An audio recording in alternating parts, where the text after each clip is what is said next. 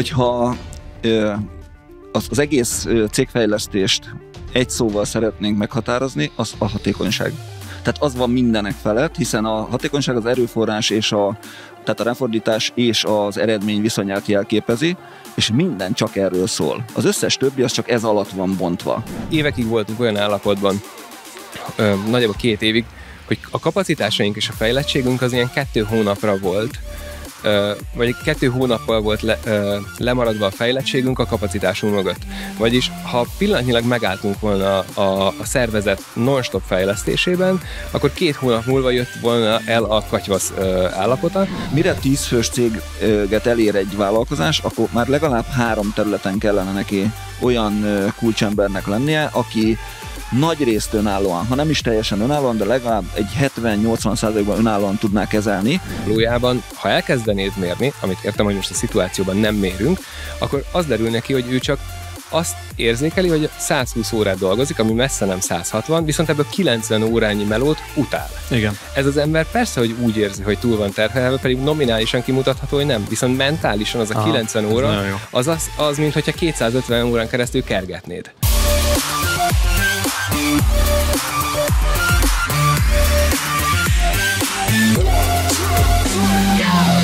Sziasztok, kedves hallgatóink! Itt egy újabb Business Boys Podcast epizód, és hát most újra hárman vagyunk, de nem a régi felállással, hanem Pázolival és Tomá Józsival alkotjuk újra most a hármas fogatot, és mind a ketten visszatérő vendégei vagytok a, a podcastünknek.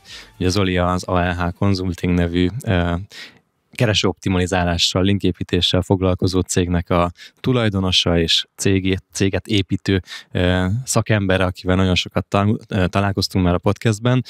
Józsival pedig, Tomá Józsival pedig egyszer találkoztunk eddig, de ez egy emlékezetes adás volt, mert nagyon sok pozitív visszajelzést kaptunk arra, hogy a te gondolkodásmódod az, az mennyire egyedülálló. Na és arra gondoltam, hogy ezt a két furcsán és egyedülállóan gondolkodó szakembert mi lenne, ha összeültetnénk és megpróbálnék veletek dűlőre jutni jutni, mert én azt vettem észre, hogy, hogy nektek nagyon hasonlít a gondolkodásmódotok. Honnan ismeritek egymást? Akkor kezdem én jelentőségteljes tekintetedből fakadóan. Egy, volt egy közös projektünk, egy ügyfelemnél megjelent Józsi csomó kérdéssel irányunkba, amiből egy, egy nagyon hosszú beszélgetés kerekedett, úgy rögtönözve telefonon, és ott a telefonban számomra az derült ki, hogy egy olyan emberrel mm, találkoztam így telefonban, uh, aki érti, hogy mit kérdez, és meg akar érteni a saját ügyfelének a, a működését, és hogy milyen alvállalkozók mit tesznek náluk. Uh, ez egy hosszú és elején, még azért kellemetlen beszélgetés volt, amikor egy kicsit vallatás hangulatú volt, vagy ez, volt a megélésem, majd, majd amikor az derült ki, hogy valójában egy támogató hozzáállású szakember van a másik oldalon, akkor ez természetszerűleg könnyebbé vált. Sok egyeztetés követte ezt, de, de így épült fel az, hogy én megismerkedtem Józsival. És ha jól tudom, Józsi, most már olyan dolgokról is beszélgettek, ami már, tehát már túl, túljutott a kapcsolatotok ezen a ügyfél, ügyfél viszonyon. Hát az idén nyár elején találkoztunk szerintem személyesen először, és hát egy kávézóba beszéltük meg, én már kikértem a kávét, az Oli sebbel lobban megérkezett, majd leült, és teljesen elfeledkeztünk mindenről, csak ö, körülbelül másfél órát beszéltünk, akkor mennie kellett. Tehát annyira, hogy ő nem is kért kávét. igen, igen, igen, igen, igen. Az, ott, ott kimaradt részemre a rendelés, mert egy, egy, megérkeztem és megtaláltuk egymást. Nagyon jó. Uh, én, én úgy képzelem el mind a kettőtöket, hogy, de, hogy, hogy ilyen ilyen Excel tábla agyúak vagytok szerintem kicsit, hogy Á, így, ilyen, ilyen uh, számomra már annyira struktúrált a gondolkodásotok, hogy én már nem értem teljes mértékig, uh-huh. és, és ezért tudtok ti szerintem tök jól beszélgetni, mert, mert gyár, gyárok, gyárak működnek a fejeitekben. Ha, hadd ellenkezzek, mert én például sokszor nem értem Józsinak a, a jegyzeteit. Ja. Mert hogy én azt gondolom, hogy te szavak jelentésében nagyon koncentráltan és nagyon nagy fókusszal nézel egy valamire, és arra vannak szavaid, viszont ez már nekem se, hát még egy, egy bárkinek, már nem, jelent, nem ugyanazt jelenti, úgyhogy, úgyhogy sokszor van az, hogy így újra át kell gondolnom, hogy itt, itt mit, mire is gondolhatott mögötte a költő. Igen, ezt jól látod egyébként, mert én nagyon sok szót értelmeztem, akár idegen szavak, akár magyar értelmező kéziszótár segítségével, és sokszor visszaértem ugyanahoz a megfogalmazáshoz, ami nem adott megoldást a 7-800 oldalas tartalomjegyzékből sem, és ez miatt én mindenkinek elmondom, én nagyon töményen beszélek, és nagyon pontosan igyekszem megfogalmazni. Sokszor van az, hogy rengeteg szót kell tisztáznunk, hogy mit ért az alatt a szó alatt, tehát hatékonyságot mindenki használja, de csak a felét szokták általában érteni magának, hogy mit jelent az, hogy hatékonyság. Ugyanígy a, akár a... Ugye? Bocsánat, csak azért nevetek, mert tegnap az Zoli egy kis előadást tartott nekem. A, Én erről mi, próbáltam mas, nem elnevetni most magam. Mastermindunkon, hogy hatékonyság, és mondom, hogy értem Zoli, értem, értem, de nem érted? Igen. Tehát, hogy aki, aki valahogy érti ezeket a szavakat, az látja, hogy a másik nem érti egyébként. Mit jelent a hatékonyság szerinted? El, elmondhatom a sztorival? Mondja nyugodtan. Nyilván, csak, csak, ne, alá, csak ne aláz meg. Nem teljesen. foglak, ígérem, ígérem. Az üzleti titkaimat, csak meg kicsit a szennyes, beléd itt az asztal ki. Jó. Uh, szóval a, volt egy, egy szituáció, uh, árazási piacbeli szituáció, amit uh, Adi vázolt nekünk, és arra um, neki volt egy ötlete, amivel döntően azért ellenkeztünk, és az én megfogalmazásom az az volt, hogy, hogy itt értem azt, hogy ő neki a leképezése az az, hogy árazási és piacbeli problémája van. A valóságban én ezt egy hatékonyságbeli problémának látom. Ezek, ezek, ezek mentén, és ezzel nekem ez lenne így kb. a válaszom, de ez csak egy ilyen nagyon felülnézeti képet adtam, és Adi ebből egy szolgáltatás tervezési választ adott, vagy termékfejlesztési választ adott, amikor én azt éreztem, hogy valami így történik bennem, mert még nem akarok közbeszólni, és végül aztán Viti mondta ki részben, de hogy valójában a hatékonyság növelés alatt teljesen mást értett, mint amit én, mert én azt értettem ez alatt, hogy mindenhez rendeljünk időket, számokat, értékeket, összegeket, majd hogyha ezt megláttuk, és vannak, ezt rá tudjuk illeszteni egy folyamat térképre, ahol vannak szűkületeink, meg van, van bővelkedő szakaszaink, akkor nézzük meg, hogy mi az, ami nagyon fáj, és ezt például akkor vegyük ki, vagy, vagy, vagy ott növeljünk keresztmetszetet, akármi, és akkor ebből majd lesz egy hatékonyságbeli növekedés, ami mellett lehet akár árat csökkenteni, nem csak árat tartani ebben a jelen környezetben, akár csökkenthetünk árakat, mert hogyha nekem kevesebb a, a munkabérköltségem, stb., akkor, akkor itt egy komolyabb hatékonyság növekedés lehet, és felhasználhatom árelőnyre a piacra. És akkor itt nagyon, itt eh, valójában most mindketten ugyan ide jutottunk éppen fejbe, hogy, hogy tegnap ez egy nagyon jól kiütköző pont volt a beszélgetésben, hogy, hogy a hatékonyság szó alatt teljesen más dolgot értünk. Mm. Hogyha az, az egész cégfejlesztést egy szóval szeretnénk meghatározni, az a hatékonyság. Tehát az van mindenek felett, hiszen a hatékonyság az erőforrás és a, tehát a ráfordítás és az eredmény viszonyát jelképezi, és minden csak erről szól. Az összes többi az csak ez alatt van bontva. Pontosan is, és ami ez tudod, ez, ez, amit most elmondta, ez az, amikor az ember idézőbe tükörben néz és elmondja, hogy alkoholista. Szóval meg kell történni a, a felismerésnek, hogy, hogy nekem hatékonyságbeli problémám, vagy, vagy hatékonyság növeked, növelésen kell dolgoznom, de ezen még mindig megül egy csomó, meg, megállnak, és azt mondják, hogy ja, de ebben nem tudunk tovább haladni, mert nincsen rá pénzünk. És a második e, ezután lépés az, hogy felismerjük, hogy egy jó hatékonyság növeléshez szinte kizárólag pénzköltéssel tudunk eljutni, vagyis egy hatékonyságbeli javításhoz időlegesen minimum több pénzt kell elköltenünk. Hiszen valamin fejleszteni kell, a fejlesztés az költség, ha valamit tesztelnünk kell, a tesztelés költség. Egy csomó olyan dologhoz vezet, ahol az ember kimondja, hogy hatékonyság, és ezt valóban felismert, az tök jó, de nem jut tovább azért, mert azonnal az a gát éri, hogy nincs rá pénzem. Szerintem, szerintem olyan is van, ami azon, hogy egyetértek veled, olyan is van, hogy mondjuk nem csinálunk tovább valamit, amit eddig csináltunk egy, egy szolgáltatáson belül, de ez nem veszel az értékéből, vagy nem, nem mondjuk az ügyfél számára ez nem csökkent a szolgáltatás minőségén, de mi rájövünk arra, hogy tök feleslegesen csinálunk egy kört, tök feleslegesen van egy, egy oda-vissza kommunikáció, és azt értem, hogy az, hogy ameddig én rájövök erre, és megváltoztatom a rendszerben, és auditálom, hogy, hogy olcsóbb lett a folyamat, az, az költség, úgymond, mert az én költségem. Erre de a másik oldalon meg, meg, hogy másik oldalon meg pénzt spórolunk ezzel. Ez így van, csak maga addig a folyamatig, szóval, hogy, hogy a hatékonyság növelés kimondása, mint vágy kimondása után neked van egy procedúrád, ami egyébként költség. Vagy időben, van, vagy pénzben, vagy erőforrásban, valamiképpen az költségként jelentkezni fog, mire eljutsz oda, hogy akkor ezt a terméket dobjuk ki, hiszen egyébként lehet, hogy veszteséget termel és akkor még tegyünk rá egy lapáttal, tehát vannak olyan szituációk, amik azonnal meg lehet állítani költségeket, és azon a költségen meg lehet csinálni ezt a fejlesztést, és már is nullából hatékonyságnövelést tudunk elérni. Sőt, tovább megyek, nekem most jelen pillanatban is van olyan ügyfelem, aki két évvel ezelőtt majdnem, hogy veszteséges volt, most lecsökkentettük az árbevételét kb. 60%-ra, és most már nyereséges. De azért milyen jó, akkor bocsánat, akkor ez egy nagyon fontos kérdésem. Nem tudom, miért kellettem bocsánatot, de hogy... hogy Valami rosszat csináltál.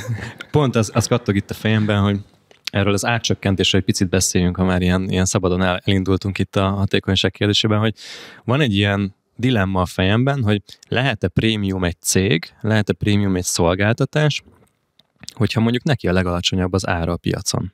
Hogy gondolkodtok erről? Mert, mert tudom, hogy nektek például az egyik ilyen óriási piacszerzési előnyötök, lehetőségetek, hogy betegesen hatékonyan működik a rendszer, viszont emiatt ti sokkal olcsóbbak is vagytok, mint a konkurenseitek. De vajon a prémium image ez összefügg, összefügge, vagy összeféle? Én ilyenkor mindig el szoktam mondani, hogy nem vagyok marketinges, uh-huh. vagyis marketing oldalra nem tudom megfogalmazni, de, de számomra a prémium érzet és a, és a, és a, és a nagyon-nagyon jó minőségű szolgáltatás és az ár, ezek egyáltalán nem járnak kéz a kézben vagy párban, hiszen csak már csak a saját életemben tudom azt, hogy évekkel vagyunk a piacunk előtt. Nem, nem látom reálisan, hogy, hogy, hogy pillanatokon belül, vagy fél, vagy egy éves távon bárki meg, megelőzzön minket, vagy csak egyáltalán nyomunkba kerüljön, és közben meg azt tapasztaljuk, hogy meghatározóan olcsóbbak vagyunk a piacnál. Oké, okay, de hogy vajon emiatt uh, prémiumként tekintenek rátok? Sokan igen, ez a tapasztalat, de nem kutattam még le soha. Mm.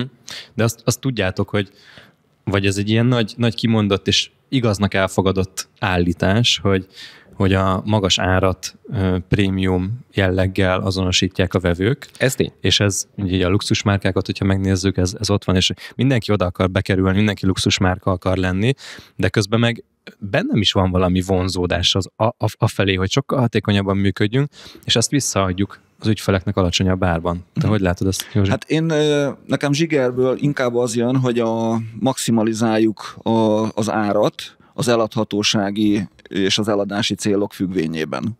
Tehát, hogy én inkább, tehát én nekem nem ritkán van olyan kijelentésem, hogy mikor emeltél utoljára, hát azt mondja, három éve, oké, okay, akkor most mennyit tudsz elképzelni? És akkor azt mondja, hogy hát egy 60 százalékat. Jó, akkor csináljunk egy kétszeres áremelést. Tehát, hogy egy 100 százalékos áremelést csináljunk, és átment. A piac ö, szinte 95 százalékban a meglévő vevői megkap, ö, megmaradtak, tehát a, a, csak rossz vevőt veszített, mm. kettő. Okay. Tehát, hogy én, én inkább, ö, mivel az a problémájuk a cégvezetőknek, hogy erőforrás hiányosak, és ez azért van, mert nem keresnek elég pénzt. Én nekem az a reflexem, hogy emeljünk árat, ameddig csak lehetséges. És ez jöhet onnan is egyébként, hogy nagykereskedőként nekünk a, a legolcsóbb termékünk az 1 forint 70 fillér volt, ezek a küllők, küllőanyák. És azon én megtanítottam az értékesítőimet, hogy a tized filléren alkudozunk. Uh-huh. Mert eladunk belőle több millió darabot egy évben. Uh-huh. És az, mivel jutalékkal össze volt kapcsolva, akkor nyugodtam meg, amikor az ajtón kívülről hallottam egy ilyen beszélgetést, hogy a 1.62-ről ő nem adta oda az 1.62-ért, hanem 1.65-ért adta oda. És akkor boldog volt. Igen. Igen.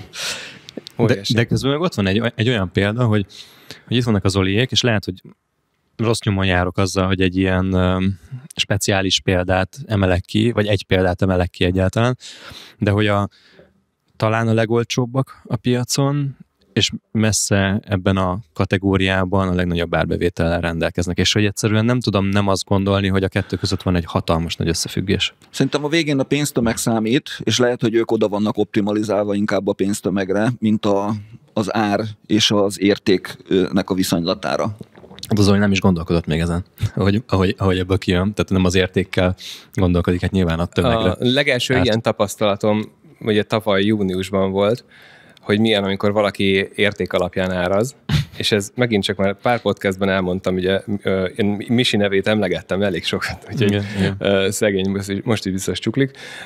Amikor az történt, hogy, hogy én vártam tőle egy valamilyen árat, így a fejembe el volt helyezve, és ennek kb. a kétszeresét bemondta, amit én egyébként elfogadtam, mert azzal az egy dologgal indokolt, hogy mert ez neked ennyit megér és valójában azt kell mondjam, hogy egyébként megéri, nyilván akkor egy picit úgy bennem volt, hogy huha, kétszer annyit adni valakinek, mint amit ugye a fejembe elhelyeztem horgonyként, az egy, az egy fura döntés, de azt láttam, hogy hogy eddigi munkájából is azt tapasztaltam, hogy nekem megéri, akkor most miért lenne más ez az állítás, és ő csak ennyivel indokolt, hogy mert az ennyire megéri. Zseniális. Ő fogott egy másik horgonyt, odébb dobta egy picit, és azt nézedne ezt. Egész pontosan, egész Zseniális. pontosan. És, és azóta is együtt dolgozunk, gyakorlatilag kiemelkedő fontosságú szereplő a cégben, csak annyit mondott, hogy hogy ez neked megéri. De amúgy ő értékesítő?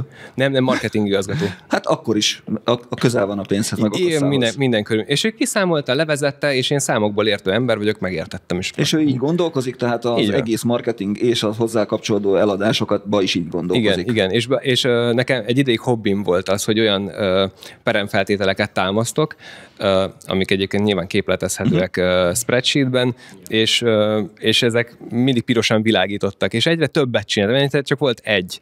De amikor ő elérte, nyilván a szélcsapat segítségével, mert mi voltunk azok, akik leértékesítettük, de ő elérte azt, hogy úgy jöjjenek a lídek, hogy a zöldre váltson, akkor kitaláltam egy következőt, ami megint piros volt hónapig, és az is zöld lett. És utána kitaláltam egy harmadikat, az, hogy piros legyen, és valójában az derült ki, hogy az az ajánlói program, amit üzemeltettünk, hát most már ugye 7 éve csináljuk, de hogy üzemeltettünk kizárólagosan 5 évig, annál ő hatékonyabb marketinget rakott össze ilyen 20-valahány százalékkal mm, bekerülési költségben. És így ott álltam, hogy, hogy amikor korábban Google ads meg egyéb marketing csatornánk volt, akkor a ajánlói programunkhoz képest négy-ötször annyiba került uh, egy fizetett uh, hmm. szerződés. Nem mellesleg rettenetes minőségű volt ez a szerződés. Szóval, hogy uh, ő kemény volt. Hmm, Oké. Okay. No, um, nem lettem közelebb ez a kérdés, az a, az a, ár, ár, ma, magas ár és alacsony ár és volumen kérdéséhez, de mindegy. Az a lényeg, hogy mindenkinek meg kell találni a saját válaszát erre. Van egy témánk mára, és kicsit Még így el, el, elbolyongtunk. Hadd vegyem egy pillanatra el a szót tőled, hogy szerintem egyrészt minden, mindennek megvan a maga ügyfélköre. Autóválasztásban is csomószor ott van, az ember prémiumot, most luxusautót keres akármi, és ezért borzalmas pénzt hajlandó kifizetni. Ez a vevő oldali, és hogy ő mit társít hozzá, az egyébként egy csomó ilyen szocializációs kérdést vett föl, ami ne is nyissunk ki. De a cég tulajdonos oldaláról is ott van minden körülmények között, hogy, hogy mivé szeretnéd formálni. Ha az én esetem a hatékony, befogadható áru következetes alternatíva, vagy egy fancy luxus termék, tudok olyan céget is az én piacomon, és tökre megvan a helye, abszolút jól működnek, nyereségesen, viszont soha az életben nem szolgáltatnám, mert, mert bennem olyan viszolgást kelt, hogy, hogy az mm-hmm. én mhm. cégem egy, egy fancy luxus termékeket nagyon-nagyon HR nehezen szolgáltasson, azt így, az, az nekem egy borzasztó gondolat. Szóval ez, ez sokban függ attól, hogy, hogy magának a cégvezetőnek mi, milyen identitás van a, a, a fejében a, a cégére nézve. Uh-huh. Ezt nagyon értem amúgy, tehát hogy te nem, nem akartad azt, hogy a, a személyes tanácsadói jelleg, az egyénre szabott, személyre szabott megoldások uralják a ti munkátokat, mert a te táblázataidban, mi a fejedben fut. Személyre szabott szó abban, nem, abban, nem, abban nem fér bele ez a megoldás, másnak meg, meg belefér, meg, meg szereti ezt szerintem, hogy ilyen kreatívan kell megoldani helyzeteket, nem? De egy csomó marketing ügynökség így gondolkozik, és a ti, te világodban ez nem is nőttek nem, nagyra. nem illeszkedik. Na ez az, ezt keresem, ezt a kulcsot keresem, hogy, hogy végeredményben vajon ez a kulcs, hogy, hogy abszolút sematikusan, sok pici fogaskerékből, de nagyon jó rendszert alkotva a lehető legalacsonyabb áron, a lehető legkevesebb személyre szabással működni, lásd a Zoli modellje, vagy pedig teljesen személyre szabva kb. egy luxus márkát csinálni, És lehet, hogy mind a kettő jó, nem? Igen, Tehát, nincsen valószínűleg mind kettő jó. Én mindig visszajogok attól, hogy alapigasságokat rakjak ki az asztalra. Egyrészt nincsenek alapigasságok, mert hogy egyszerűen nem érvényes mindenkire. Másrészt, ha valamelyik verzióban te hiszel, és azt te tudod csinálni, és a piac visszaigazolja, hogy az, az egy jó megoldás, akkor valójában neked abban lehet egy alapigasságod, viszont most ezt így szerintem nem tudjuk kirakni az asztalra, hogy ez a jó. Ami viszont tény, és ezt a cégépítőben is beszéltük Krisztiánnal, hogy nagy tőzsdei cég nincs, ami egyedi termékeket készít minden egyes ügyfélnek. Szóval ez egy nem létező helyzet, mert nem tudsz akkorára nőni az egyedi igényekből, hogy, hogy te egy tőzsdén jegyzett cég legyél. Uh-huh. Jó, Vagy legalábbis én nem, nem ismerek példát rá. van egy fontos kérdésem. Kell-e növekedni folyamatosan? Mert ez, amit most mond a Zoli, ez, ez nekem azt mutatja, hogy oké, okay, tőzsdén jegyzett cég, de hát egy tőzsdén jegyzett cég az sok milliárdos árbevétel, és pont az Zolival arról beszéltünk, hogy ő már nem akar egy bizonyos méretig eljutni, mert az olyan komplexitással jár, de egy tőzsdényegyzett cég az már sok milliárdos valószínűleg olyan komplexitás, amit már nem akarsz elérni.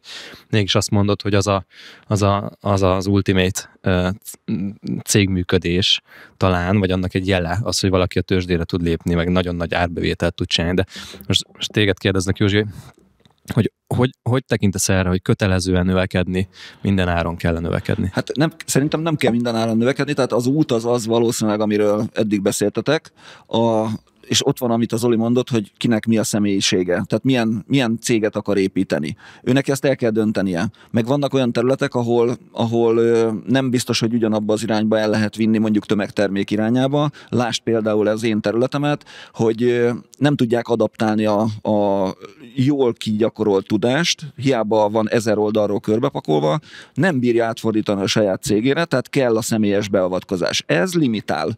Tehát ebből lehet tovább feszegetni odáig, hogy csoportos foglalkozás, meg ki lehet találni technikákat, meg ö, lehet azt mondani, hogy eladunk akkor infoterméket, meg írunk könyvet, meg nem tudom mi, de attól nem visz közelebb az, hogy amit az én célom, hogy valós haladás legyen. És azt nem tudom megoldani azon a módon, ahogy az Oli-nak a modelljében ez működik. Hmm. Ez csak ebben a modellben lehet, ennek ezek a korlátai, viszont személyiség szempontjából nekem meg sokkal jobb ez, mert én meg nem, nem tudnék, tehát már az is nehezemre esik, hogyha hétről hétre ugyanoda kell mennem. Ugyanazokkal az emberekkel kell beszélnem.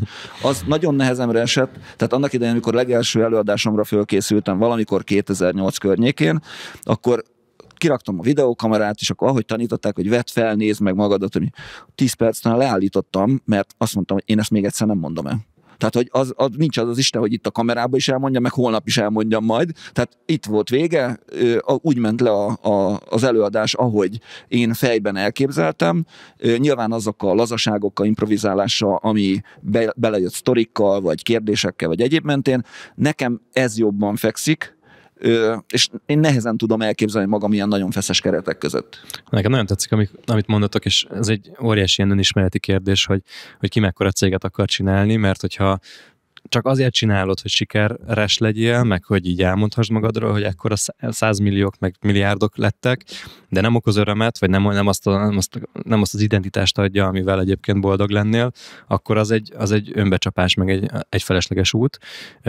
De közben meg ez a minden áron kicsinek kell maradni, vagy merjünk kicsik maradni típusú dolog is egy, tud egy csapda lenni, hogyha egyébként abban nem érzi jól magát az illető. És a, Hát szerintem ez, ez itt, itt kezdődnek a dolgok, és neked van például egy, egy ilyen nem tudom, hány szintű ilyen evolúciós modelled a, a vállalkozó Elég magas csengatorony. működéséről, meg létezéséről, és ennek a, az alján van, a legalján van az, hogy miért csinálja a, a, a vállalkozó ezt az egészet, és ez egy annyira triviális kérdés, de miért csinálod? És én, én még mindig nem tudtam, tehát például amikor veled dolgoztam, akkor nagyon nehéz volt ezt megmagyarázni. Most vannak rá válaszaim, most már okosabb És lehet, vagyok két ebben. év alatt meg, majd meg lesz a válasz. Igen, tehát most már beljebb vagyok ebben az egészben, de amikor ezt meg tudja az ember válaszolni, akkor tud igazából hozzá illeszkedő céget építeni szerintem, és tök szerencsések vagytok, hogy ti ezt most már meg tudtátok magatoknak válaszolni, én meg még itt billegek ebben az egészben, de ez egy műsorvezetői bravúrra ad lehetőséget nekem, hogy átnavigáljak a fő témánkhoz. Ez Hoppá, pedig, ez, bravúr. ez pedig az, hogy, hogy a középvezetői rétegről beszélgessünk egy kicsit, ami ugye a növekedésnek az egyik ilyen velejárója, eh, vagy talán eszköze, ahhoz, hogy egy cég növekedni tudjon. De most nem, a, nem abból a szemszögből fogjuk vizsgálni, hogy a növekedés miatt akarunk létrehozni egy középvezetői réteget, hanem azért, hogy tehermentesítsük a, a, a, a cégvezetőt, a vállalkozás vezetőjét, vagy esetleg azokat az egyéb kulcsembereket a rendszerben, akik, akiket körbe akarunk bástyázni. És amikor én felhoztam nektek ezt a témát egyrészt, hogy legyen közös adás, akkor innen indultam el, hogy képzeljük el azt a kulcsemberünket, le, ezek lehetünk magunk is, meg lehet az egyik egy, egy-két ilyen, ilyen zseniális figura a cégünkben, akit nem akarunk kiégetni, nem akarunk túlterhelni, ha tükörben nézek magamat, nem akarom kiégetni, nem akarom túlterhelni, és hogy ennek, ennek keressük meg azt a szisztémáját együtt, ahogy, ahogy ezt tudatosítani lehet. Mert nekem önmagamra nézve már, már elég jó tanulságaim vannak, de például egyáltalán nem volt a figyelmem középpontjában, hogy az embereink kell ezen, erről hogy gondolkozzak. És arra gondoltam, hogy rakjuk ezt így össze, ezt az egész, egész várat, hogy hogyan épül fel egy jól működő középvezetői réteg, aminek egyrészt célja, hogy a cégvezetőt tehermentesítse, másrészt meg akkor fog jól működni, hogyha ők nincsenek túl terhelve. Igen, tehát fenntarthatóak, és tudnak jól együttműködni is. Igen, és ebben a felállásban én vagyok most a tanulófél, nálunk nincsen középvezetői réteg a Broadcastersben, de van egy-két olyan kollega, akit így belelátok abba a helyzetbe, hogy egy-egy ilyen középvezetői réteget, vagy középvezetői pozíciót majd be tudjanak tölteni. Zoli, nálatok ez létezik, de olyan mértékben, hogy tegnap büszkélkedtél azzal, hogy már a board meetingekre se mész be? Mert, Igen, de most így, most már ők is fogják tudni, hogy nem fog bemenni. Még nem mondtam nekik. Oké, okay, akkor ez egy, ez egy szembenézési folyamat lesz az AHN belül. Te pedig számtalan ilyen céget látsz, ahol rosszul működik, jól működik, van, nincs. Neked is volt olyan céged, amit, amiben, amiben létrejött ez. Úgyhogy próbáljuk meg megtalálni azt a nulla, null pontot, ahol megjelenik az igény vagy a szükség arra, hogy középvezetői réteg, vagy az első középvezető megszülethessen. Mi az a motiváció szerinted, Józsi, amiből ezt, ezt, ezt el kell kezdeni, és hogy mi a helyes időzítése annak, hogy egy ilyen ö, első középvezetőt meghatározzunk? Hát ö, szerintem két irányból közelíthetjük meg. Az egyik az, amikor már probléma van, tehát hogy már nem győzik ö, egyben tartani a, a céget. Jellemzően ilyenkor azt szokták mondani a cégvezetők, hogy ö, gyakorlatilag semmire nem jut időm, és ez azért van, mert nincsenek olyan felelősök, akinek ő komplett funkcionális területeket leadhatna. A másik oldalról, hogyha túl vagyunk, tehát nem a probléma az erős, hanem inkább a kihívás, tehát hogy a, már a jövőbeni célokat akarjuk elérni, túl akarunk lendülni egy méreten, akkor pedig ez a feltétele annak, hogy ez megtörténhessen. Uh-huh. Mert ö, én például mondom a személyes példámat, tehát amikor én pályakezdő voltam, akkor egy, egy jól kialakult szervezetbe lettem vezető, amiben nekem nem kellett a szervezeten belül semmit se variálnom, egyszerűen csak meg kellett tanulnom, fegyelmezettebben kellett csinálni, mint az elődöm, és ettől jobb eredményeket értem el. Viszont a, amikor céget építettem, akkor az volt, hogy nagyon rám épült minden. És a, az a rámépülés az azt jelentette, hogy sok minden tudás nálam volt, információ nálam volt, döntés nálam volt, és közben meg azon már túljutottunk, hogy, hogy nem jó embereket vettünk föl, tehát nagyon jó embereket vettem föl, ennek ellenére nem állt össze a kép, és arra jöttem rá, hogy az a gond, hogy, hogy ő velük nem foglalkoztam eleget. Nem beszélgettem velük eleget, nem adtam nekik ö, olyan felelősségi kört, amivel, amit ők szerettek volna, vagy jobban tudtak volna vele élni, és ö, a biciklis szezon, biciklis szezonok ö, szezonon kívüli állapot az a szeptember, októbertől márciusig. Egy egész telet rászántunk arra, hogy minden héten én úgy emlékszem, hogy szerda délután, ebéd után összejöttünk, nekem akkor hét olyan kulcsemberem volt, aki egy része vezető volt, a másik része nem volt vezető beosztásban, de kulcsember volt, és beszélgettünk, nekem volt ahhoz egy tematikám, hogy min kell keresztül mennünk, de attól egy picit lazábban csináltuk, tehát nem egy oktatás volt, hanem volt információátadás, elképzelés,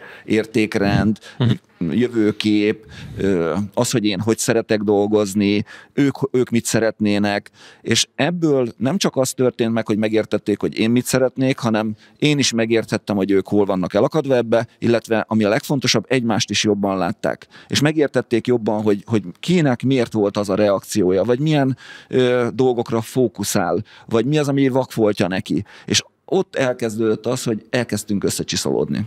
Ezek ilyen együttes nagy meetingek voltak, vagy Igen, van igen, igen. Aha.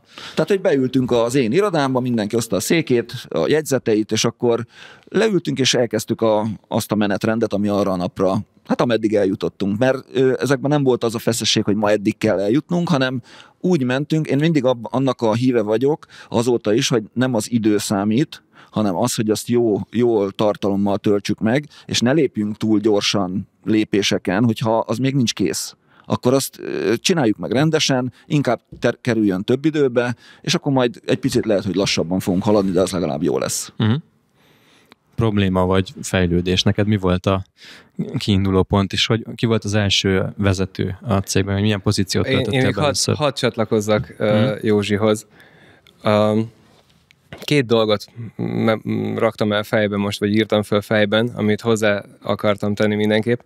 Az egyik, hogy például most nagyon-nagyon jól bemutattál szerintem két teljesen ellentétes pólust, amit röviden úgy, tudné, úgy tudnék megfogalmazni, hogy van az egyik a így sikerült, amikor már nagy a katyvasz, és kell fölvennem jó esél egyébként külsőst, aki hoz be új tudást, és ő lesz egy csoportvezető, középvezető, tatata, valaki. Ö, ritka az, hogy hat, akkora a katyvasz, hogy pont egy felső vezetőt akarjál fölvenni. Ö, legalábbis én eddig így láttam. És van a, a másik, amikor van egy vízió, hogy én egy 100 milliós cég vagyok, és négy éven belül mondjuk két milliárdos akarok lenni, és egy jól kitalált szervezeti ábrában, ahol már, már előre tudsz részlegeket, csoportokat, stb., oda fölveszed a kulcspozícióba azokat az embereket, akik végeredményben vagy kulcsember, nevezhetjük akár, hogy középvezető, felsővezető lesz. És ezt a két nagyon ellentétes pólust, ezt Józsi kiválóan bemutatta, Ugyanakkor annyiban nekem ellenkeznem kell, hogy a saját megélésem az az, hogy ezt lehet egy nagyon szorosan a fejlődés mellett párhuzamban dolgozó organikus módon is tenni. Amikor mi nekünk nagyon sokáig, évekig töltöttünk olyan állapotban, vagy évekig voltunk olyan állapotban, nagyjából két évig, hogy a kapacitásaink és a fejlettségünk az ilyen kettő hónapra volt, vagy kettő hónappal volt le, lemaradva a fejlettségünk a kapacitásunk mögött. Vagyis, ha pillanatnyilag megálltunk volna a, a szervezet non-stop fejlesztésében, akkor két hónap múlva jött volna el a katyvasz állapota, Viszont így... Ez a, ez a kapacitások túlterítődése? E, Az, az hogy két, úgy két mondom, hogy, ettől? hogy tudtunk mindent csinálni, de tudtuk, hogy ebben a növekedésben Utolér benneteket u- a u- probléma. u- utolérjük, ö, a, a kettő hónap múlva a probléma igen elfog minket. És amit én ebben organikusként fogalmazok meg, amikor látod azt, hogy a szervezeted mit csinál, ott megint csak milyen átforási keresztmetszet, milyen komplexitás, milyen egyebek vannak, és fölismered azt, hogy ehhez a három emberhez tartozik egy másik, nagyjából fölötte lévő embertől 40 óra a hónapban, de hogyha ezen a növekedési pályán vagy, akkor évvégére ez csak náluk 100 óra lenne, ezért vagy ki kell onnan emelned valakit, vagy be kell oda hoznod egy másik csoport, vagy őket át kell rendezned egy másik vezető alá, vagy akármi, amikor látod azt, hogy hogy nem egy víziót kell kiszolgálnod, és nem is egy katyvaszt kell megoldanod, ugyanakkor erre szükséged lesz valami nagyon belátható időn belül, és ilyenkor lehetőséged van belső kinevelésben gondolkozni. Persze utána már rajtad múlik, hogy te fölismered-e az, ki az az ember, akit egyébként belső kineveléssel uh, tudsz terelgetni. Szóval amit ebből ki akartam hozni, hogy én azt gondolom, van valahol egy ilyen középút, amik, amikor nem a szélső értékekben van a cég, ugyanakkor talán ez ritkább, mert ez feltételezi azt, hogy hogy például, ahogy én tettem, hogy az első számú vezető per tulajdonos ott él együtt a céggel, miközben egyébként nem vezeti a céget, mert nálam ugye az áll fönt, hogy most már öt és fél éve nem vezetem az ALH-t. Ebből fakadóan nagyon benne volt az idő, időm, vagy időkeresztmetszetembe az, hogy hogy én kísérjem a szervezetet, és folyamatosan figyeljem őket. És így csatlakozom át a második gondolatra, amit fejben fölírtam. Annyi, annyi mindent kell közben felírnom nekem is a fejemben, nem tudom, ti hogy vagytok vele, de... E- ebben még lesz részed itt. Ez egy pár óra lesz ez a podcast adás uh, akkor. És itt, itt jön a második dolog, ami, amit akartam mondani, hogy, és vissza, most ellenkezem magammal, hogy nem szeretek kitenni az asztalra alapigasságot, de, de azt az alapigasságot mégis el kell fogadjuk, hogy egy bizonyos komplexitás után uh, a cég tulajdonosnak, vagy aki azt a felelősséget érzékeli, hogy ezt a céget fejlesztenie kell. Ez nem feltétlenül biztos, hogy a cég tulajdonos, de valaki, aki ebben, ebben lát előre, és akarja fejleszteni, annak nagyon hamar ki kell lépnie abból, hogy csinál dolgokat, és át kell mennie abba, hogy ő az, aki a szervezetben a legtöbbet kérdezi, és a legtöbbet hallgat. Mert akkor tudja megérteni és meghallani, megérteni azt, hogy mi zajlik azoknak az embereknek a lelkében, ezzel szemben, hogyha ő bent van és operatívan üti a vasat és teszi, akkor nincs arra ideje, hogy, a, hogy a, az emberek ilyen formán foglalkoznak. És te is kiválóan érintetted ezt, csak nem merültél el benne annyira, mint amit én így szoktam néha ilyen gondolatkísérletekben, hogy, hogy ez annak van egy bizonyos létszám után, ez talán ez a 6 és 10 fő között, legalábbis én így éltem meg.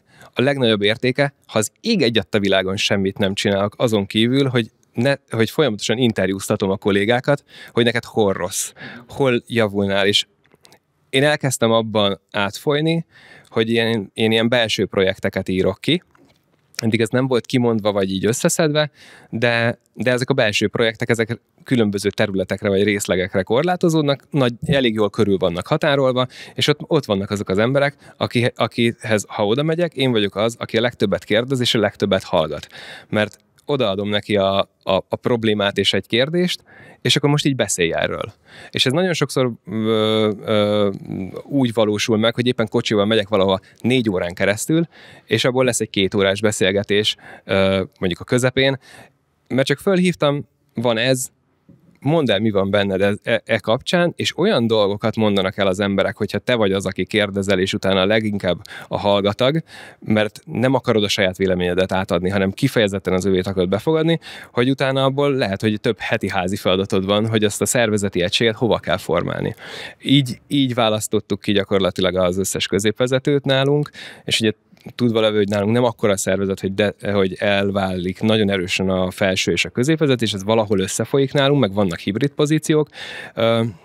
Ugyanakkor ez is egy, egy állapot. Ebből az állapotból is, hogyha tovább akar az ember lépni, azt úgy tudja, hogy ezt az állapotot javítja, fenntartja, javítja, és majd lesz belőle egy olyan, ahol már elkülönül a, a, a felső és középvezetés. De ez nem megy anélkül, hogy, hogy ne beszélnénk a idézem, most csúnyán fogom mondani, embereinkkel, a kollégákkal, nagyon-nagyon-nagyon sokat, és mélyen. Mert az, az, hogyha az ember csak felületesen kérdez, az felületes választ fog szülni. Köszönöm ezt a nem felületes választ erre egyébként. Nagyon szívesen. Akarsz erre reagálni? Igen, a, a, ebből a sok lényegből a, a, az én számomra kimondottan kiemelt lényeg az a 6 és 10 fő, amit mondtál, ugyanis az van, hogy a 10 főnél még nincsenek kulcsembereid, vagy középvezetőid, vagy hívhatjuk bárminek, akkor már véged van. Igen, Tehát akkor már bajban már, vagy. Ott már el vagy késve.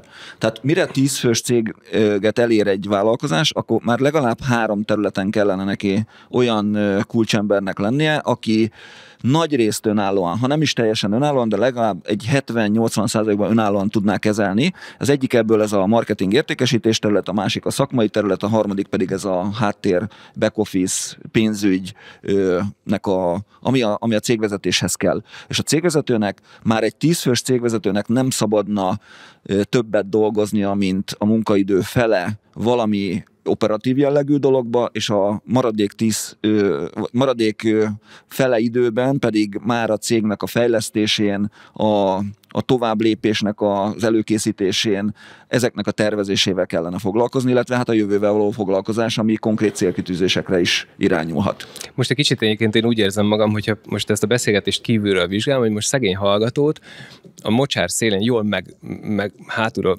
megrúgtuk, így arccal előre beleesett, mert rá is ugráltunk egy kicsit, hogy, hogy na, akkor most ebből jöjj ki. Uh, úgyhogy én talán ilyen pár le, le, ha le szeretném egyszerűsíteni, hogy hogyan tudja ezt fölismerni, uh-huh. Á, mert végeredmény... Köszönöm, köszönöm, hogy visszatérünk a kérdéshez. Mert a fő kulcskérdés, hogy hogyan tudja ezt az állapotot felismerni. Igen, Most igen. mondunk egy létszámot például. De ő maga azon túlmenően, hogy van egy létszám, azt nagyon-nagyon sokféleképpen tudja valószínűleg megfogalmazni, érzékelni, hiszen hogyha van egy csomó alvállalkozó, nem biztos, hogy ez létszám. Ugye? Ugyanakkor, ha azt nézed, hogy az hogyha ezt egy nagyon egyszerű matematikára hozod le, hogy van 160 órányi erőforrásod, oké, okay, lelkes cégvezető vagy, akkor lehet, hogy 250. Uh, mindketten úgy nevettétek el magadon, mint aki csinált már ilyet.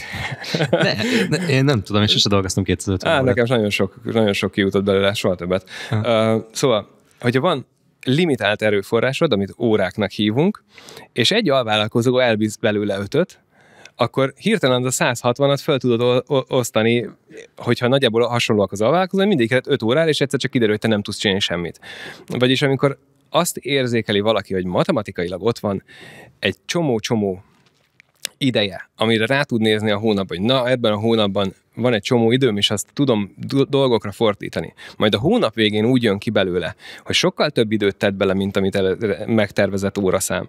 Majd uh, jól hangsúlyosan ö, felismerhető csoportokba tudja ezt rendezni, és talán itt ez a fontos, a felismerés, hogy ezeket csoportba tudja rendezni. Kategorizálod hogy, azt, hogy mivel töltöd az így időt. Van, így van, kategorizálod azt, hogy, hogy az alvállalkozókra elment ö, 47 órám, az egy szemmel látható a 160 De az ő irányításukra gondolsz, ugye? Kérdés-válaszok. Meg Kérdés-válasz, piszkálgatás, minden, ami hozzájuk akkor valójában el tudsz kezdeni egy kvalitást meg személyiséget keresni erre a feladatra. Valójában simán lehet, hogy ekkor még ö, egy titkárnőre van szükséged.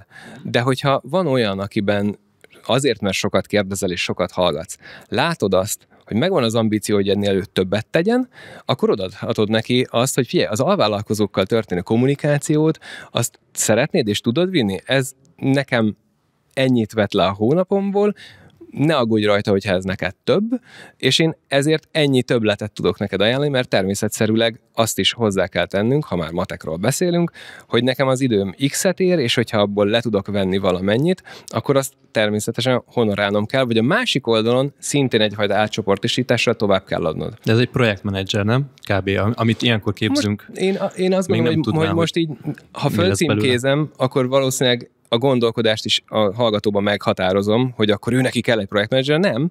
Kell valaki, ami az adott problémakört kézben tudja tartani, és kommunikációsan EQ-ban, IQ-ban megfelel a, a, a dolog kezelésének. Fogja a szálakat, a projekteket, pontosan, határidőket, pontosan. adminisztrációt elvégzi hozzá, eszkalálja általa nem megoldható problémákat, de ami megoldható Pontosan. általa azt megoldja, vagy megoldatja. Ugye erre gondolsz? Igen. Most, hogy én ezt nevezem projektmenedzsernek, vagy nevezzük asszisztensnek. Vagy... Én azért nem akarom címkézni, mert, mert bárhogy címkézhetem, ami a kulcskérdés, hogyha én le tudom vezetni az, hogy mire mennyi időm van, és azt tudom csoportosítani, akkor abból már ki fog számomra esni, hogy valójában ide egy feladat megoldó embert kell keresni, vagy egy probléma megoldót. Nyilvánvalóan a probléma megoldóból van kevesebb, és ha én ezt szervezeten belül szeretném át, átrendezni, akkor vagy van a következő embernek a szervezeten belül erre kapacitása, vagy ha nincs, akkor, szerv, akkor megnézem, hogy ő neki mennyi feladata és problémája van. És a feladatokat tovább, egy réteggel lejjebb tovább adatom vele, mert ott felszabadul időkeresztmetszet, és tud az én problémáim megoldásával foglalkozni. Nyilván ehhez kell az, hogy tud ambíciói megvannak hozzá, egyébként akar annyit dolgozni, vagy érdekli a munkakör. Itt már ezek mind olyan személyes preferenciák, amiket szerintem nem lehet ilyen igazságszerűen asztalra kirakni, de a legfontosabb, hogy az emberek kezdje el kiszámolni, és kezdje meghallgatni így a kollégát. Te is innen kezdeni? Én a, ezt fel akarom oldani, ezt az ellentmondásnak, vagy a, a megértésnek a nehézségét, hogy munkakör, vagy akarom címkézni, vagy nem akarom címkézni. Tehát én azt szoktam elmondani, és ma is például volt egy tanácsadás, ahol teljesen új ö, fejlesztési asszisztensnek először beszéltem, hogy mik lesznek a feladatai, és ilyenkor nem csak azt szoktam elmondani, hogy most konkrétan mit kellene csinálni, hanem azt is, hogy honnan jövünk, mi ez a fejlesztés, és akkor az, hogy hogyan gondolkodom én a céggel kapcsolatban, ez ilyen alap dolgokat el szoktam mondani, hogy a cég attól függ, hogy mit csinál, hol van, neki van véges mennyiségű feladat félesége. Ezek ilyen itt van a felhőbe, még nem csináltunk vele semmit. És ezeket különböző módon lehet csoportosítani, halmazokat rendezni belőle, amelyet mondhatjuk azt, hogy az már egy munkakör, vagy egy felelősségi kör, amit beletolunk egy munkakörbe, amihez hozzá tudunk passzintani uh-huh. egy embert. De KKV-knál nem tudjuk ezt, ezt a feszességet fenntartani, ott találunk valamilyen embert, vizsgáljuk ezt, hogy mit akartunk hozzárendelni, és lehet, hogy igazítani kell rajta, hogy valamit nem úgy adunk hozzá, de inkább adunk hozzá neki egy másik feladatot, és egy picit ö, mozdítjuk a munkakört, de nem olyan nagyon tágan, tehát nem azt jelenti, hogy akkor most 50%-ig jó, 50%-ig nem, hanem mondjuk egy 80-85% százalékban legyen jó, és akkor azt már tudjuk úgy igazítani, hogy hatékony legyen. És ezeket a, hogyha nem munkakörökbe gondolkodunk, hanem feladatba gondolkodunk, akkor azt a feladatot, ha ő neki besokal, akkor azt a, valamelyik feladatot, azt, ami időmennyiségben leköt neki, mint ahogy a cégvezetők, akkor fogjuk és áttesszük máshova egy megfelelő képességű embernek, akinek kapacitása van. Most nyilván cégszerkezet fel, szempontjából szoktuk azt csinálni, hogy hogy lehet kiszabadítani valakit, alá kell tolni kapacitást. Tehát nem úgy, hogy megfogjuk fölül és kihúzzuk, hanem alá teszünk kapacitást. Tehát egy cégvezetőnek van mondjuk ö, asszisztense, ez, ez egy vicces, az asszisztens alá tettünk asszisztenst. Uh-huh. Mert már nem tudott annyi feladatot elvenni és nem volt más megoldás, tehát oldalirányban nem volt érdemes terjeszkedni, hanem az asszisztens kellett ö, még felszabadítani. Igen, mert ha mellé teszed, akkor a cégvezetőnek kell eldönteni, Akkor hogy, ho- hogy, hogy hova delegál. Igen. Igen, igen, vagyis az, az, az egyébként egy plusz terhelés. Igen, Még hogyha az asszisztens dönti el, hogy mi az, amit továbbad lefelé, az, az a cégvezetőnek az életében nem szól bele. Igen, és ezzel megvalósítottuk azt a klasszikus lépést, amit ö, nálatok is, meg több helyen is m, próbálok forszírozni mindig, hogy ha van egy feladatnak kilenc ö, szintje, hogy hogy lehet elvégezni, akkor a, a cégvezető ebből minél kevesebbet és minél magasabb szinten csináljon, és ne az legyen, hogy ő neki még ott középtájon szét kelljen osztani valamit. Oké. Okay. De alapvetően azt mondjátok, hogy az egész abból születik meg, és ez nekem a mai napnak az egyik ilyen nagy tanulsága, Már hogy is. auditálod az egyes embereknek a munkáját, ugye? Tehát, Igen, mi- minden pillanatban. Józsi, te is ezt mondod, ugye? Igen, A, tehát, abból jönnek ki azok a feladathalmazok, amik a felhőbe felkerülnek. Egy, e- onnan tudjuk, hogy egyáltalán ezek vannak, és onnan tudjuk, hogy mennyi időt visznek el, és hogy milyen kategóriákat, meg csoportokat lehet belőle alkotni, amit utána a felhőbe magához tud valaki húzni. így van. Jó? Nekem, nekem Aha. a novemberi projektem az ez, ugye mondtam, hogy ilyen mm, területenként különböző mini projekteket fogalmazok meg, és ez a, most például február végéig tudom nagyjából, hogy milyen ilyen egy- hónapos projektjeim vannak, és az egyik az, hogy a különböző teendő, én mint teendő típusnak hívom, mint hit humidity CRM user, a különböző teendő típusokat azt szerint vizsgáljam a leendő ügyvezetőnél, Leánál, mindenki ismeri, Uh, Mindenki. hát teljesen. Hát, a- aki, igen, aki engem Minden hallott Business már, Boys hallgató ismeri Leát. Igen, igen, igen, Szerintem mindenki. Ezt mondhatjuk. Uh, meg az ügyfélkör meghatározó része. Szóval, ami nála van feladat, azt elkezdjük címkézni egész november uh, során, gyakorlatilag, gyakorlatilag óraszám, percszám uh, ráfordítás alapján, hogy mi az, ami ügyvezetői, és mi az, ami opvez, mármint operatív vezetői feladat. És amint kialakul az, hogy nagyjából itt van mondjuk 40-50 óra operatív vezetői feladat, miközben ő már ügyvezető, valószínűleg október 1 nem, nem, november 1 azok a feladatok már mehetnek a következő embernek, aki egyébként már tudja egy éve, hogy ő lesz majd ö, Lea mellett az operatív vezető, és mi amikor már kellően struktúrált egy-egy feladatkör, akkor folyamatosan adogatjuk át. Szóval a novemberi egyik projektem az ez, vagy igen, az egyik projekt, amit novemberben valósítok meg, az ez, hogy, hogy nagyon pontosan szétszálazzuk azt, hogy mi az, ami ügyvez, és mi az, ami opvez. Én meg hónapok óta valójában csak így e-mail továbbító ember vagyok, mert meglátom, hogy küldesz nekem egy e-mailt, jó esélyén azt fogom nézni, aha, ezt ki fogja helyettem megcsinálni. Meg én biztos nem, ez, ez garantált. És az, ki, ki az a középvezető, vagy ki az a személy, akinek ezt tudom továbbítani öt szavas specifikációval, hogy ezt akkor tud, meg tudja csinálni. Ha meg tudja, akkor kiderült az, hogy ez a fajta teendő, ez a jövőben az összes kerülhet hozzá. Igen, igen. Ez egy nagyon fontos mm, szemléletmód szerintem, hogy elsajátítsuk azt, hogy azon gondolkodni, hogy ki fogja megcsinálni, nem azt, hogy hogyan fogom megcsinálni. Hát egy idő után az idő kikényszeríti, szóval hogy ugye, te például... De, de a reflexek azok vissza tudnak kapcsolni ugyanúgy, nem? Tehát, hogy Nekem az a hogy reflex, hogy én ments, hogy megszoktam megcsináljam. egyre inkább. De még a, én, én valahol középen vagyok, neked most már megvan a reflex, hogy, hogy Isten ments, hogy te csináld meg, de te is onnan indultál, hogy mindent te magad Ez csináltál. kétségtelen, ez így van. És akkor ezt, ezt meg kell tanulni, ezt a ez így folyamatot. van. És Hogy- akkor képzeljük el, hogyha mondjuk jelen pillanatban mondjuk 14 cégnél meg kellene csinálnom valamit, akkor azt hogy csinálnám meg? Az, az derék. Segítsetek akkor egy kérdéssel. Ami felmerült bennem, ugye az adás elején a hatékonyságról beszélgettünk, el is mondtátok, hogy mi az a hatékonyság, és hogyan működünk jobban. Adná magát a helyzet, hogy amikor szembesülünk azzal, hogy valamelyik kulcsemberünk túlterhelt, akkor két irányba tudunk elindulni, vagy hatékonyságot javítunk az ő területén, vagy elveszünk tőle feladatot, átstruktúráljuk a feladatait, másnak adjuk, felveszünk egy embert aláfölé. De ennek is kéne valamilyen fajta szisztéma, amiben, amiben egy ilyen döntési fát fel tudunk rajzolni, mikor kezdesz azon gondolkodni, hogy nem veszek el feladatot, de végezzük hatékonyabban ugyanazt, amit most csinálunk. A másik alternatíva az az, hogy elveszem a feladatot, másnak adom, felveszek alá fölé embert. Hogy ember versus hatékonyságnövelés. Vagy ez nem így működik? Melyikünk mondja, hogy előbb elkezdünk mérni? Ö, mondhatod te is.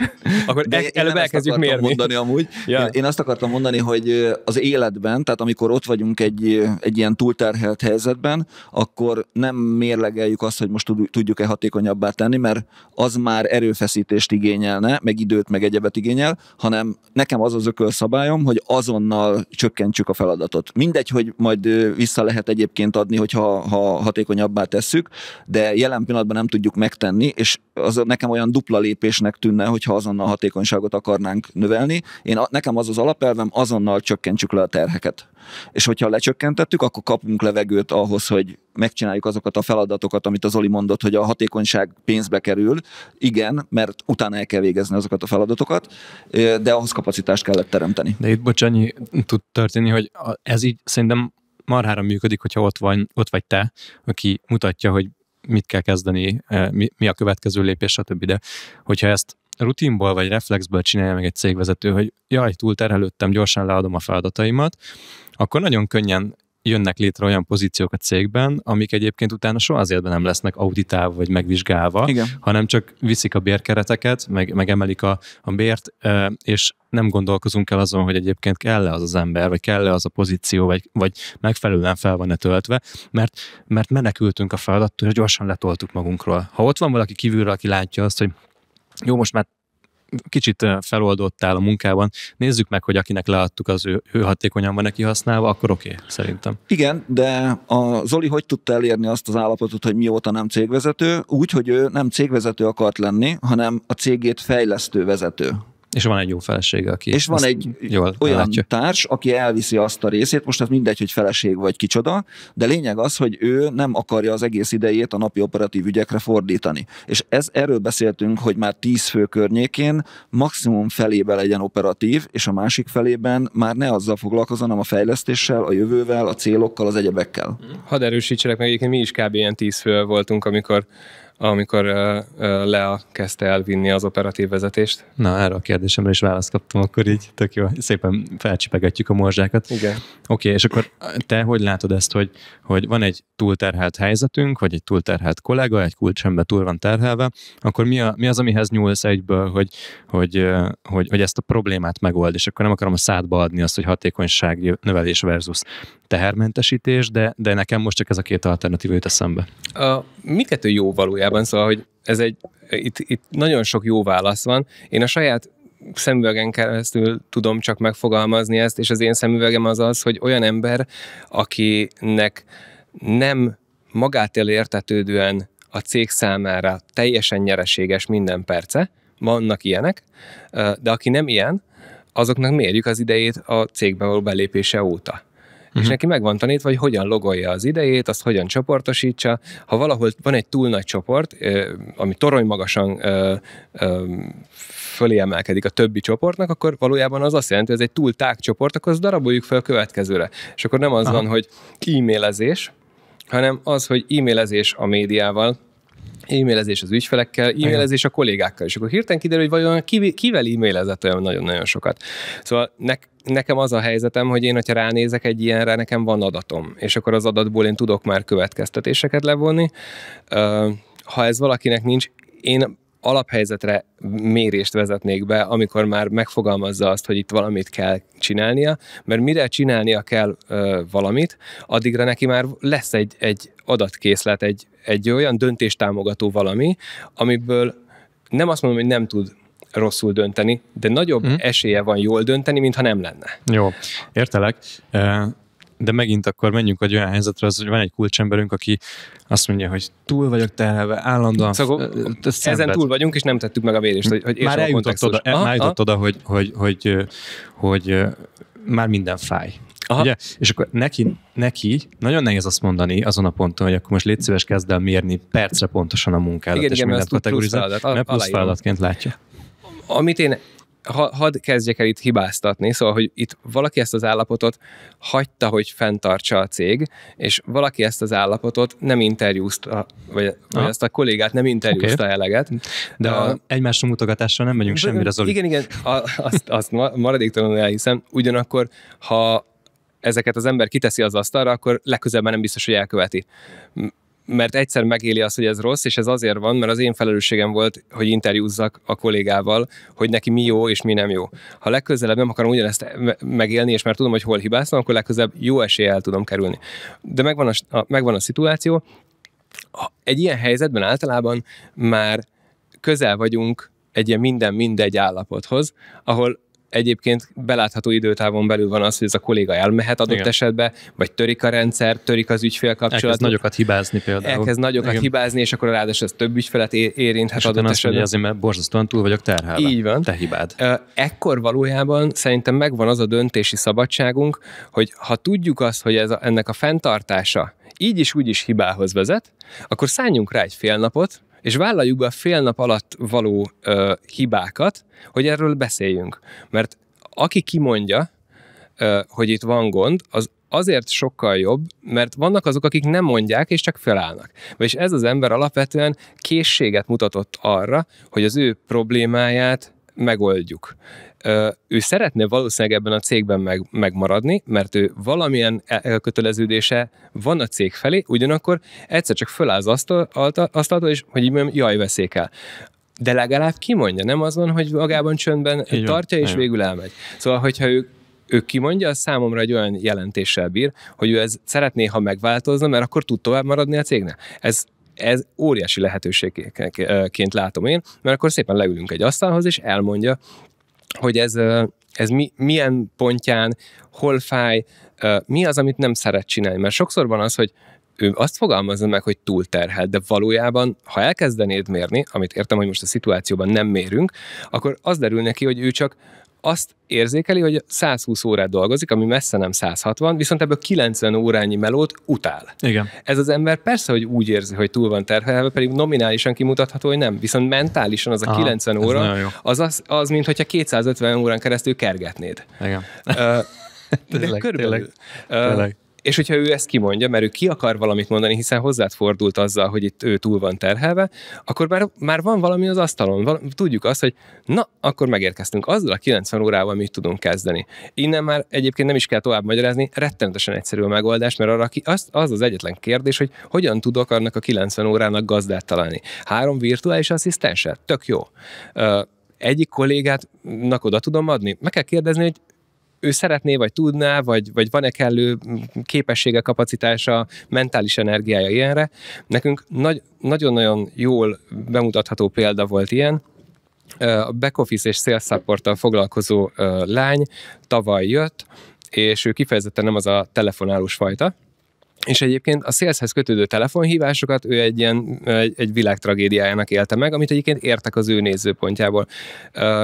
Ugyanakkor benne voltunk abban a helyzetben, hogy őt valójában erre vettük föl, szóval egy pillanatnyilag ebben nagy módosítást nem tudnánk tenni, ugyanakkor az is lehet egy megoldás, hogy a, ha belefér az ideje, vegyítsük a munkakörét egy másikkal. És kapott egy teljesen más feladatot, amit viszont annyira utált, hogy rá, rájött, hogy, hogy a, a sales supporthoz kötődő telefonhívások nem is olyan rossz. Paradigmaváltás Így van, így van, és hirtelen más lett az értékelési környezet. Nagyon jó. Uh, Tehát, hogy beraktad lapátolni, vagy kertet Hát, vagy izé, hogyha a kert, kertásás szar, akkor a szénbányászat az rosszabb, szóval hogy hirtelen meg lehet szeretni a kertásást. Nem azt mondom, hogy az embereket bele kell kényszeríteni, csak nagyon nagyot tud változtatni, hogyha hirtelen szemüveget cserélsz. Mert ő rájött arra, hogy van ennél sokkal rosszabb, és ez valójában nem is olyan rossz, mert ez valójában az idejének csak egy része. Jó, szerintem ez egy elszigeteltebb eset, de hogy amit előtte mondtál, az ilyen wow, hogy ez a mindenképpen energiát kell szánni arra, hogy megértsük azt, hogy, hogy mitől van túlterhelődve, és azt a feladatot leadjuk, és másnak adjuk. Mindjárt hagylak, hogy szó az is, érzem az energiában, azt, hogy mindenki, ehhez mindenki hozzá tud szólni, csak én is. Hogy, hogy a, most csináltunk meg egy olyan feladatot egy, egy kollégával, aki, sőt, többekkel is, hogy egy nagyon egyszerű táblázatba be kellett írni az összes feladatát, amit csinál. Négy doboz van, amiben be kell dobálni a feladatokat. Az egyik az, hogy, hogy nagyon szeretem, imádom, és nagyon jó vagyok benne. A másik az a, a tábla tetején, hogy jó vagyok benne, és szeretem. Alatta van, hogy jó vagyok benne, de nem szeretem, és utálom, és nem vagyok jó benne. És, ezeket a, és azt a szerepkörét, amit, amit mi neki szántunk, azt szét kellett alfeladatonként dobálni ide. És cégvezetőként én úgy nézek rá, hogy na itt van ez a projektmenedzseri feladatkör, ez így egyben van, ez így kerek.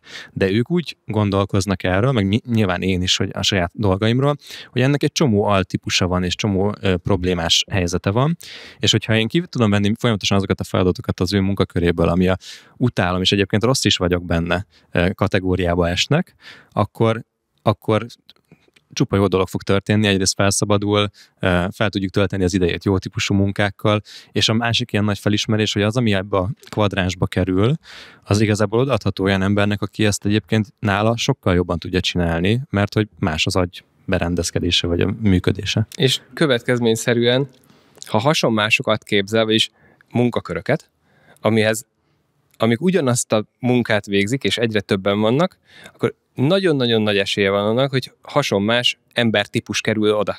Vagyis, hogyha egy munkakört egy hosszú interjúztatási procedúrával ö, kiegészítve alkotsz meg, akkor sokkal nagyobb esélyed van, hogy amikor második, harmadik, negyedik, ötödik, nyolcadik, negyvenhatodik embert veszel föl, akkor ha az első karakter fit volt abba, abba, abba a munkakörbe, és kell még egy e, olyan ember, aki nagyon hasonló karakter, hiszen ez a, uh-huh. ez a pozíció egy ilyen karaktert kér, akkor a következő is ezekkel a munkaterületekkel, vagy azokkal a feladatokkal komfortos lesz. Uh-huh.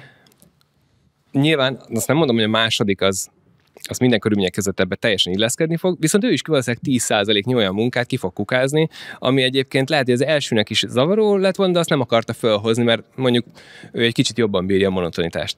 Végül egyébként meg meg lesz egy olyan munkaköröd, amiben szinte univerzálisan fölvehetsz idézőjelben a kreatív embert, és a kreatív pozícióban a kreatív ember szinte mindig fit. Uh-huh. Zolinak az előző Aha. mondandójához a mert hogyha addig nem löktük bele még a kedves hallgatókat az ingoványba, az Oli az a mély kútba belökte őket. Á, de azzal, most ebben, ebben versengetek egymással. Igen, igen, igen, nem, én pont...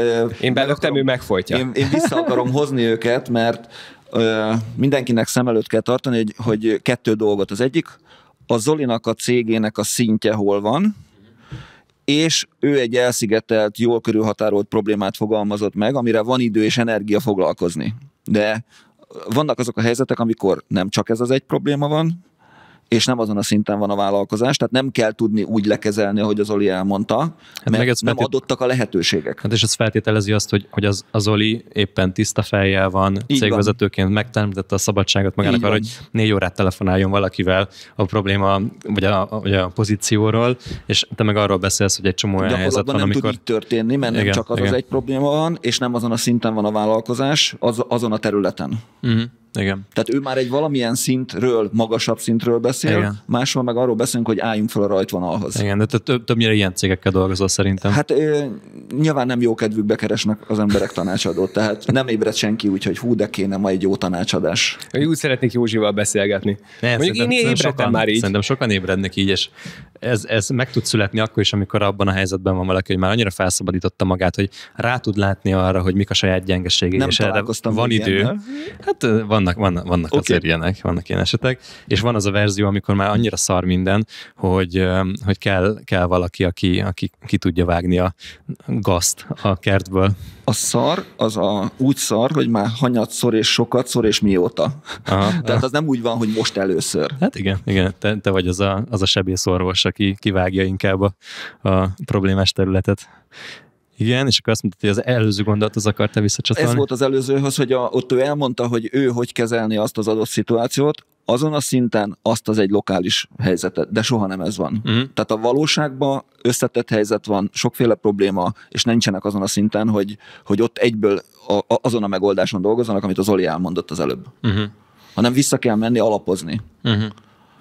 És neked, neked az a megoldás, hogy akkor hirtelen le kell venni feladatot? Nekem az. Aha mert nincs kapacitás, tehát hogy teljesen mindegy, hogy azért nincs, mert nem hatékony, vagy azért nincs, mert egyáltalán nincs. De végül is ugyanazt megcsinálod, meg fogom csinálni, igen. A csak az Zoli a saját cégében, a saját cégén tudja megcsinálni ezt, mert ő fel van szabadulva. Igen. De te meg ugyanazt megcsinálod mondjuk egy kulcsemberrel, egy középvezetővel, vagy egy cégvezetővel, hogy auditálod az ő idejét, Igen. legalábbis a nagy blokkokat megtalálod, és kiveszed, ha jól értelmezem, Igen. azokat a dolgokat, amiket viszont egy az egyben azonnal ki lehet tőle venni, egy asszisztensnek oda lehet adni, vagy egy másik embernek, aki érti, hogy miről van szó, ugye? Így van. Tehát mondok egy példát, az egyik bútorgyártó cégnél a, ott kb. hat középvezető volt, és az egyik középvezetőnek nem tudott leadni a cégvezető feladatokat, holott az ő területére kellett volna neki átadni feladatokat, és hát megfogadták azt, amit csinálni kellett, és néhány, három hét alatt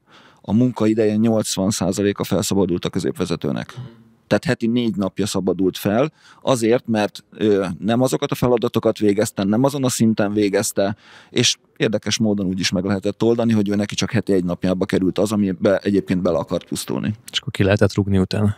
Nem, nem kellett kirúgni, onnantól a cégvezető tudott leadni neki Vagy csökkenteni a fizetését. Igen. Na most, mostantól levettük róla a feladatokat, négy napnyi munkát szabadítottunk meg tőled. A Átjelentünk két órásba. Négy ötödét a munkádnak akkor két nem, most már csinálhatod azt, amit kell. Jó, gondoltam persze, hogy igen, tehát egy innentől kezdve kreatív, meg, meg magasabb szintű munkákat igen. lehet neki adni. Um, Oké. Okay. És az a, a középvezetőt is elégedettebbé teszi, mert ő is bele van ragadva ebbe az egész helyzetbe. Tehát nyilván a középvezetők nem örömükbe túlterheltek. Uh-huh.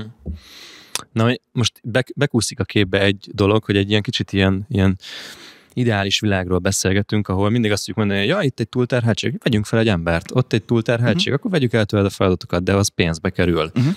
Uh, hozzuk be ezt a, ezt a sötét anyagot a képletbe, hogy, hogy sokaknak szerintem azért van meg az az extrém túlterhelődés, amit te mondasz, mert, uh-huh. mert, mert pont, hogy nem tudják finanszírozni azt, hogy leadják a feladataikat, vagy ezt hogy Lehet látotta? ilyen is, de nem ez a fő jellemző, hanem az, hogy rosszul van a, megoldva a munkaszervezés, és senki nem azt csinálja, amit kellene neki. Mert hogy nincsenek jól kialakított munkakörök, nincsenek jó felelősségkörök, ez... nincsen jól meghatározott, hogyan kell csinálni, a rendszerelemek nincsenek a helyükön, a uh-huh. ő alájuk beosztott emberek alkalmatlanok akár, de azt, azt el, elhiszem mindenképpen, hogy amikor már egy akkora cégről beszélünk, ahol van hat középvezető, ott biztosan uh, mozog annyi pénz, hogy egyszerűen a munkaszervezéssel az, uh, az megoldható legyen, hogy, hogy, hogy fel tudjunk venni valakit. De mondjuk egy kis cégnél, ahol, ahol igazából annyira katyvasz van és káosz van, hogy mindenki mindent csinál uh-huh. gyakorlatilag, az azért is van, mert, mert nincs pénz több emberre. Jó, csak akkor vissza kell menni a, abba a Jenga toronyba lefelé, hogy az üzleti modell mennyire értékes az az ajánlat, lehet elég pénzt keresni benne. Emeljünk árat. Emeljünk árat. Aha. Tehát a pénzcsinálásnak a, a működő cégekre vonatkozóan négy nagy kategóriája van, és például nem régen is jelentkezett hozzám egy olyan cégvezető, akinek már közel két milliárd forint árbevételű a, a cége, tehát növekszik folyamatosan, de a nyereség meg csökken. Arányaiban, vagy volumenében? Is. Aha, aha. Összességében Nominálisan is? Az buli. Igen. Az jó Tehát, lesz. hogy nem csak arányaiban, nem csak romlik a hatékonyság, hanem, hanem drasztikusan romlott a hatékonyság. Tehát, hogy a pénz az sok irányból jöhet be, jöhet nyilván a piacról jöhet be pénz, de én azt látom, hogy körülbelül a 75%-ában az eseteknek cégen belüli hatékonysági problémák vannak, és ott kell megoldani, ott meg lehet találni egy csomó bevételt. Uh-huh. Vagy mhm. hát ö, megtartani nyereséget, inkább így uh-huh. mondom. Hát igen, csak ez megint az kell, hogy a cégvezető az legyen egy olyan állapotban, mentális Így állapotban, van. hogy képes legyen körülnézni a saját portája környékén, és ne az legyen a rutin válasz, hogy jó, akkor adjunk el többet, legyen nagyobb a bevételünk, mert az sokszor nem oldja meg a problémát, hát, csak elfedi, ugye? Csak mondok egy példát, volt egy olyan ügyfelem, akinek körülbelül ilyen egy milliárd fölött volt valahol az árbevétele, tehát havonta csináltak 90 és 130 millió forint árbevételt, és ők folyamatosan veszteséget termeltek. És akkor kiszámoltuk a fedezeti pontot, 2 milliárd, nem, havi 260 millió forintot kellett volna csinálni a fedezeti ponthoz. Jézus! Tehát, hogy hol nem tudja megcsinálni, tehát, hogy eleve, hogy, hogyha nem jól van árazva, meg nem jó az üzleti modell, akkor veszteséget fog többet termelni. Tehát nem, nem megoldás mindenre a bevételnövelés. Az csak a négy fő elemből egy. Aha. És gondolom a, a, a kintlévőségek egyre lassabb kifizetéséből finanszírozták valójában magukat. Ö, nem a kintlévésekből, hanem korábbi eredményeket égettek el. Aha. Mert ő A, neki ez a, a tulaj visszahordta a pénzt kategória. Hát ki se vitte. Jó, jó volt vállalkozni akkor. Látta, hogy ott van, aztán meggyújtották. 100 milliós nagyságrendekbe gyújtogatták a pénzt. Óriás buli. Én egy, nyilván én sokszor látom a dolgokat radikálisan leegyszerűsítve, pont a, a, az én szemüvegemen keresztül, mert hogy szinte mindenre van döntés Ezért támogató ülünk adó. többen ennél az asztalnál. Igen, igen, igen, igen, igen. Meg Lehet, hogy rövid lenne az adás. Én a magam oldaláról azt tudtam megfogalmazni még a kérdésed kapcsán, a katyvaszt említetted, hogy annál drágább, költségesebb és nehezebben fenntartható dolog nincs, mint mikor katyvasz van. Szóval, hogy ha van katyvasz, akkor nekem nem tudja senki azt állítani, hogy nincs embert fölvenni pénzt. Vagy nincs pénz embert fölvenni.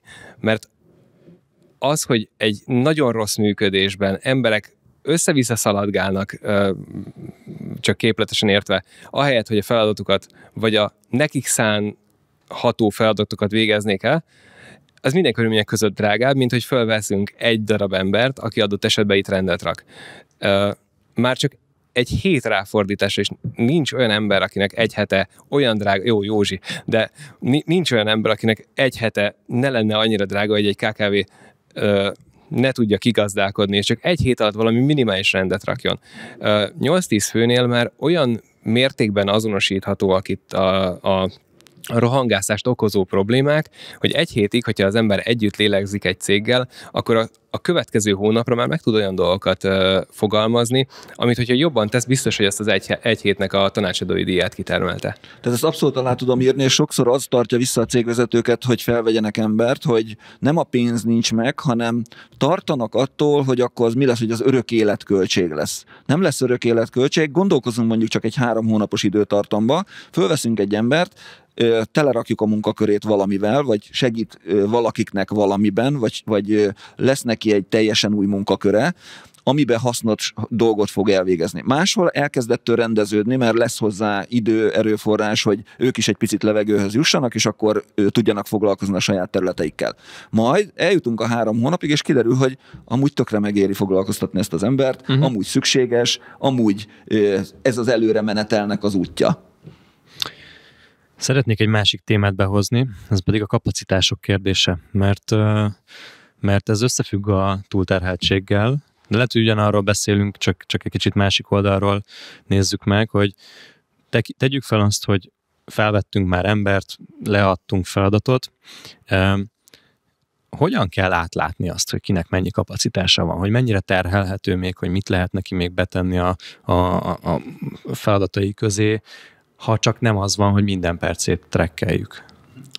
Ú, én lehet, hogy a, szere- a mocsárban fekvőnek bármilyen is most még ráugrok, de Akkor csak kicsit. igen, csak megpróbálom kicsit, csak a kötelet dobom a nyakába. Uh, amikor elkezdtünk mi a cégeladáson dolgozni, akkor a tanácsadó cégtől a legelső dolog az volt, hogy egy kulcs driverre hegyezzük ki a cég növekedési képességét. Mert hogyha van egy szám, amit így az Excel sorban le lehet húzni 10-ről, 10-től ezerig, akkor hirtelen lesz egy felrajzolható növekedésünk, mert hogyha ezt az egy számot ki tudjuk valamiben fejezni, ez nálunk spe- speciál az ügyfélszám. Legtöbb ügynökségnél nem mondok nagy csodát, az ügyfélszám az, ami, ami ezt, a, ezt a driver, amit, amivel előre tudsz prognosztizálni dolgokat, akkor onnantól azt ki tudod húzni messzire, és egyrészt hirtelen megjelennek a kapacitások, és egy olyan növekedési terv vagy potenciál, amivel egyébként már tudod, el tudod helyezni, hogy, hogy nagyobb egy időskálán hol, mikor, mi fog veled történni. Itt visszakanyarodok természetesen megint oda, hogy mérések kellenek, de a le, ebben a ponton, meg kell, vagy ezen a ponton meg kell találni azt az egy driver számot, amit el, kell, el tudunk kezdeni mozgatni egy csúszkán. Igen, de, de bocs, csak hogy Igen? egy csomó cégnél, akik nem úgy működnek, mint, mint ti, egy ügyfél, az nem egységnyi terheltséget jelent egy kapacitás. Igen, de ki lehet átlagolni. Ez egy elképesztően jó általános iskolai dolog, hogy megtanuljuk, hogy ki lehet valamit átlagolni. Okay. Vagyis, hogy ha van egy 10 fős szervezetem, és tavaly el tudtunk látni 30 ezer rendelést, akkor nem nagy matek kiszámolni, hogy 300 rendelés az egész éves kapacitása ebben a környezetben egy embernek. Vagyis, hogyha én növekedni szeretnék, és elérni egy 3600 rendelés, vagy bármekkorát, akkor föl kell vennem még két embert, amikor látom azt, hogy ezt a, át fogom lépni, és kell a növekedéshez. Ezzel most nagyon leegyszerűsítettem, de az én életemben nagyon-nagyon pontosan látom azt, hogy a saját szolgáltatási költségszerkezetemhez milyen emberek mit csinálnak, az mennyibe kerül, és csak hozzá kell párosítanom azt, hogy az van a költségszerkezet összegsorosan, és ahhoz embereket tudok rendelni, és az az ember egy hónapjába mennyi olyat tud megcsinálni nekem produktomat, hány téglát tud odahordani.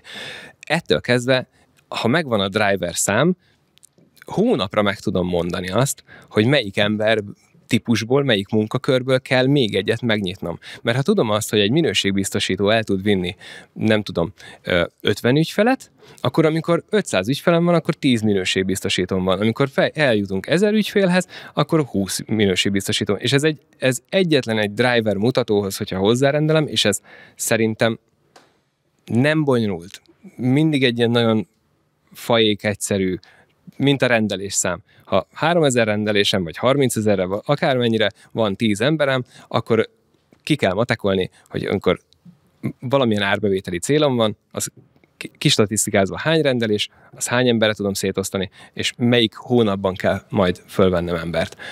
Uh-huh. Amikor mondtad, hogy két hónapra jártatok előre, akkor azt ebből vezetted le, hogy tudtad, hogy be fog telni igen, a, a kapacitás igen. mondjuk ügyfélszám szem, Nem ügyfélszámban, hanem, hanem operatív vezetés és gyártásvezetés frontján, mert ott ez a kettő munkakör összeért, és láttam azt, hogy hogy egy kulcsember volt egy kulcspozícióban, akinek el fog, el fog fogyni az, az ideje, hogyha ebben a növekedési tendenciában maradunk. Neki mi volt az egység?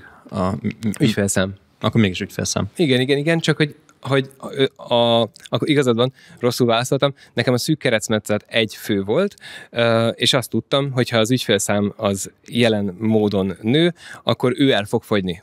Az, ha túlterhelem, akkor az törvényszerűen káros, kár helyzetekhez fog vezetni, több hiba, tatatata, stb. Ha pedig veszek föl, akkor az természetszerűleg betanítást hoz, stb. És nyilván ezen ezt az utat választottam, mert hogy az elsőt, első embert nehéz betanítani kizárólag, mert a másodikat már egyrészt ő tanítja meg a közvetlen vezetője. És az Zoli mondott egy olyan példát, ami az ő gondolkodásmódja szerint a, erre az üzleti modellre a jól mérhető és ugyanabban a munkakörben többen dolgozó emberekről szól. Az a kérdés, hogy hogyan lehet megoldani azt, az ezen kívül esőeket, mert gyanítom, hogy a Business Boys hallgatói nem föltétlen olyan méretű cégek, ahol egy-egy munkakörbe akár 8-10 ember foglalkoztatnak, és mindig minden esetben mérhető munkakörökről beszélünk, tehát vannak a nem mérhető munkakörök, és vannak azok, amikor nincsenek benne számosan emberek, tehát ott abban az esetben azt lehet csinálni, hogy ha a munkakört jól megértjük, akkor nem átlagolunk, mert még nincs adatunk, hanem satszolunk hogy adott feladatot milyen gyakorisággal kell végezni, kb. mennyi idő. És akkor, hogyha összeírjuk ezt egy, egy olyan emberrel, aki benne van egyébként ebben a, a túlterheltségben, akkor ki fog jönni, hogy ökölszabály szerint ez beleférhet egy munkakörbe, vagy nem fog beleférni egy munkakörbe. És akkor innen el tudunk indulni abban, hogy akkor ő neki most levegyünk feladatot, vagy segítőt rendeljünk hozzá, de az is lehet, hogy itt akkor bejön még a kapacitásnál az időzítés kérdése, hogy ez egyenletes ez a, az időzítés, vagy a terhelés, vagy bizonyos időszakokra ez kicsúcsosodik, és akkor ah, abban az időszakokban szép. mit kezdünk vele. Tehát tudjuk, hogy a könyvelőirodák nem tudom, ötödikéig mondjuk elsőjétől unatkoznak, 5-től 20-áig megbolondulnak, aztán megint próbálják próbálják utolérni magukat levegővel, hogy majd megint elkezdhessék ugyanezeket a köröket. Ugyanez munkaköröknél is igaz lehet, hogy vannak olyan területek, ahol nagyon sok feladat van egy rövid időszakban, oda nem feltétlen felvenni kéne embert, hanem egy asszisztenciát három napra, négy napra oda rendelni, és akkor utána a normál munkarendben meg el tudja végezni a feladatát. Tehát itt mindenkinek ezt egyénileg a, a saját területére, a saját fejlettségi szintjére és azokhoz a munkakörökhöz kell igazítani a megoldást most összeállt sok kis puzzle darabból egy, egy tök jó kép a fejemben, és az elmúlt hetek történései is tisztultak, ami a saját cégemben történt.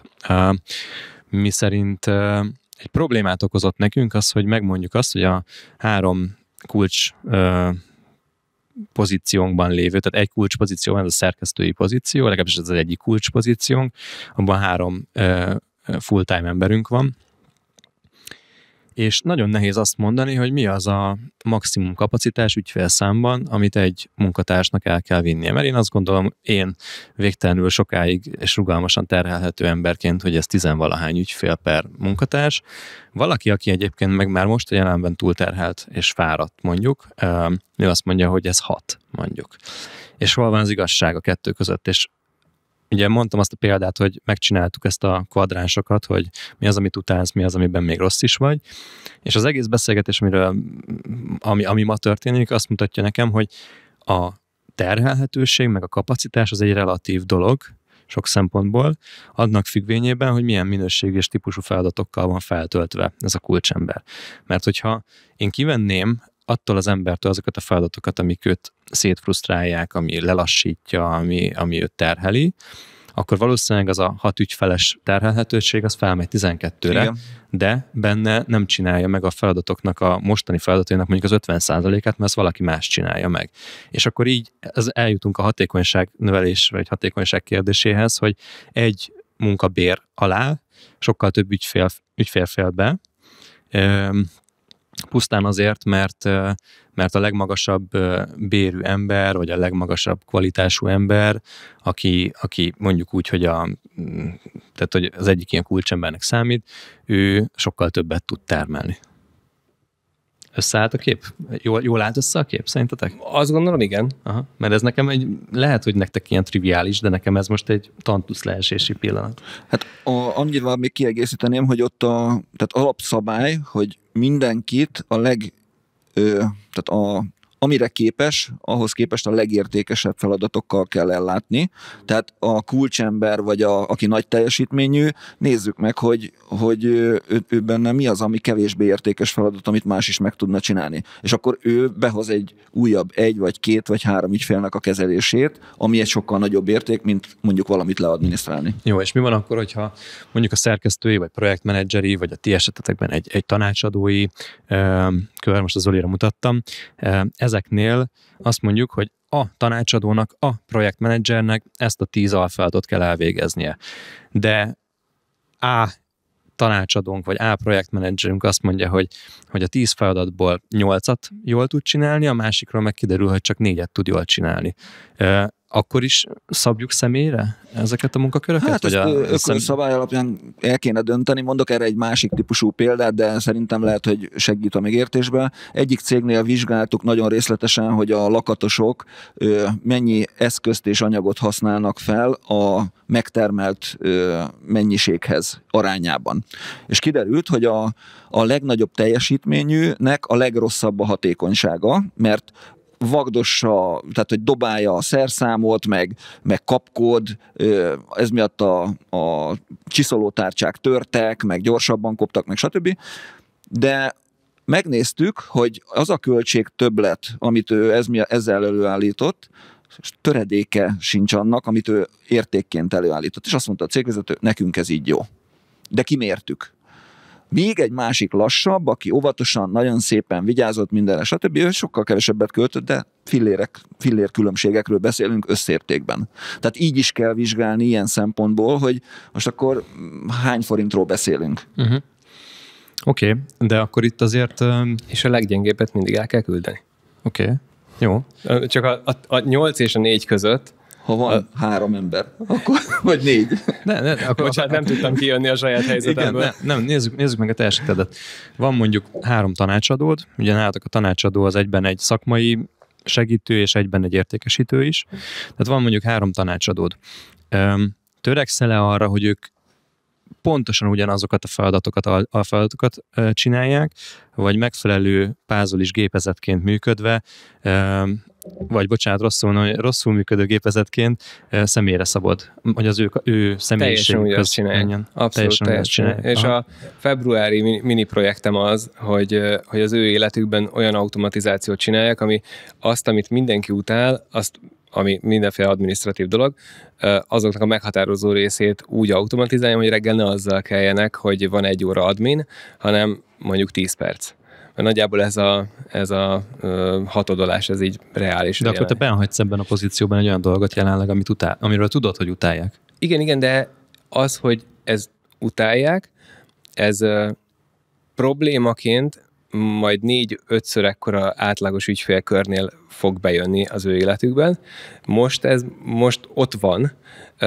De tömegében még elviselhető Viszont, viszont, viszont jelen, jelen volumenben ez nem egy kulcskérdés. Most az egy órát úgy vedd, hogy egy kifejlett értékesítő életére. Aki most kezdte, és a, kifejlett értékesítőnek mondjuk lehet 300 ügyfele, akinek van 30, ennek ez nem ügy. Viszont akinek van 300, az már kakukkol, hogy, hogy ez, ez az elég overkill, úgyhogy aki ő, ők, mit mondtam, fölállt az, az asztaltól, és el, elkezdett jajveszékelni.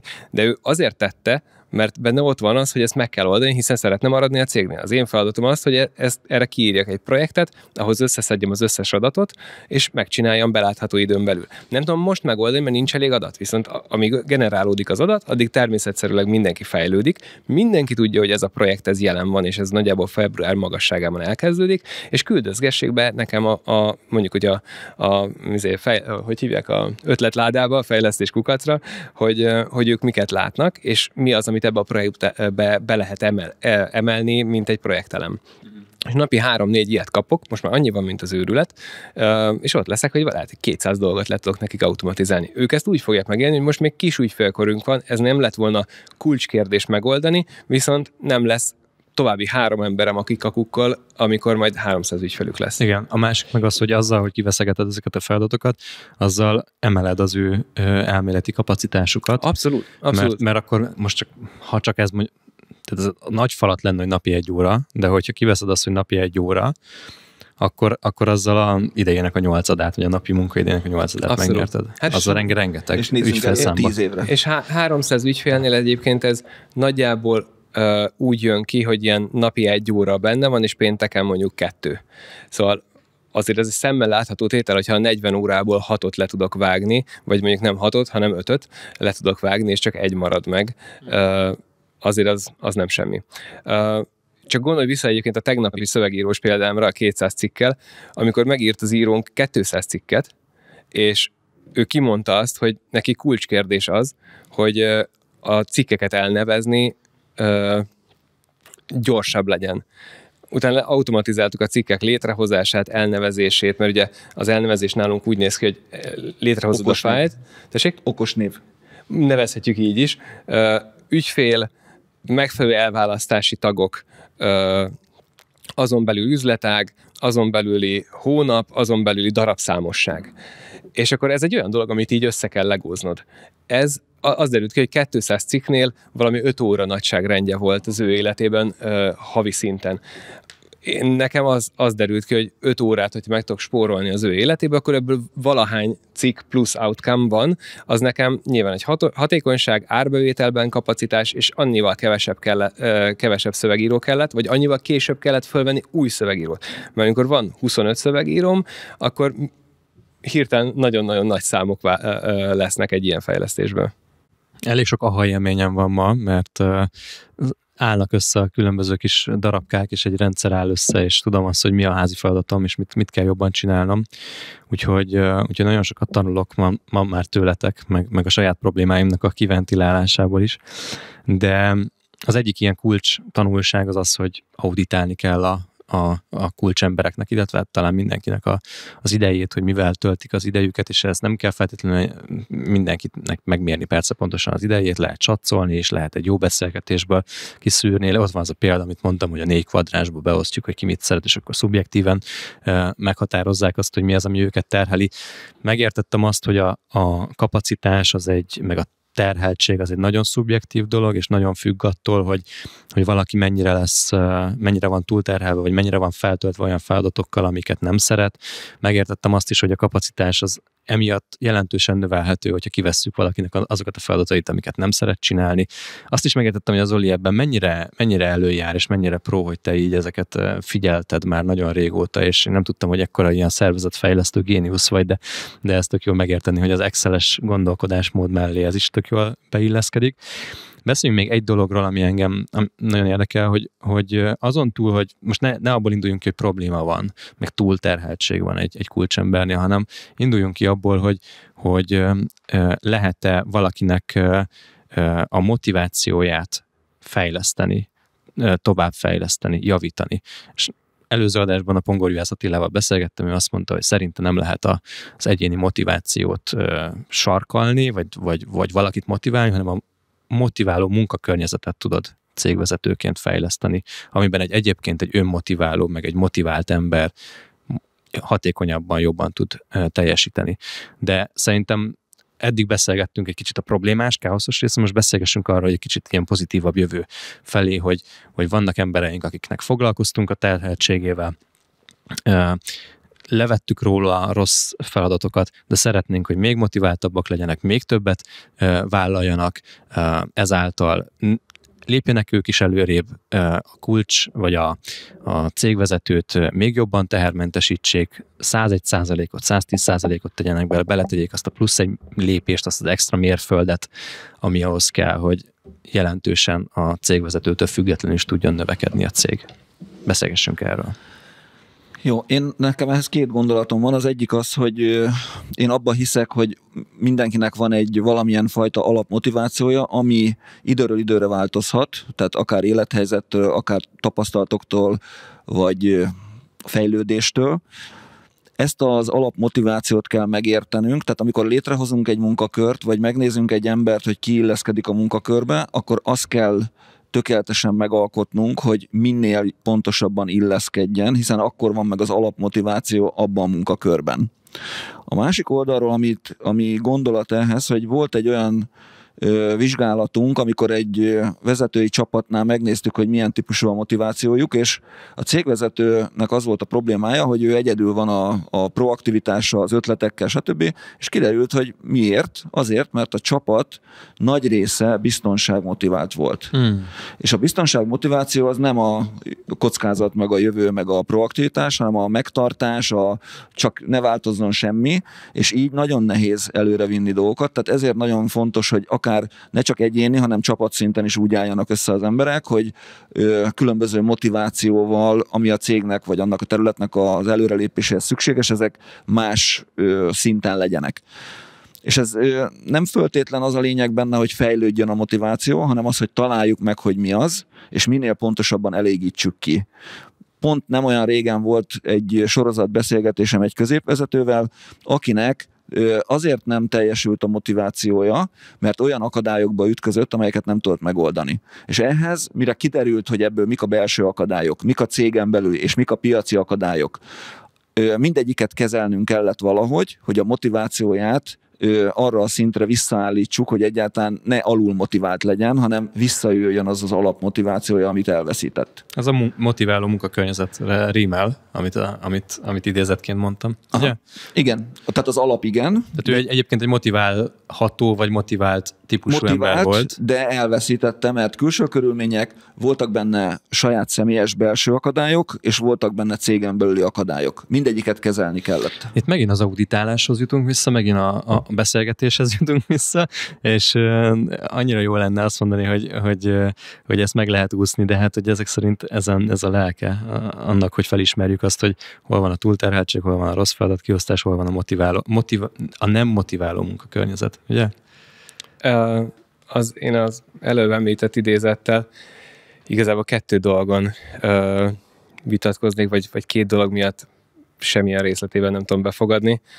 Az egyik az, hogy leteszünk egy alapigasságot, hogy, hogy neked csak egy dolgon van lehetőséget dolgozni, és az emberben lévő motiváció, az, az nem megváltoztatható. Én ezt, ezt nem tudom alapigasságként kezelni, mert ez szerintem egyrészt nem igaz, másrészt ha ezt kijelentem, akkor elvágom a lehetőséget, hogy én ezt challenge-eljem.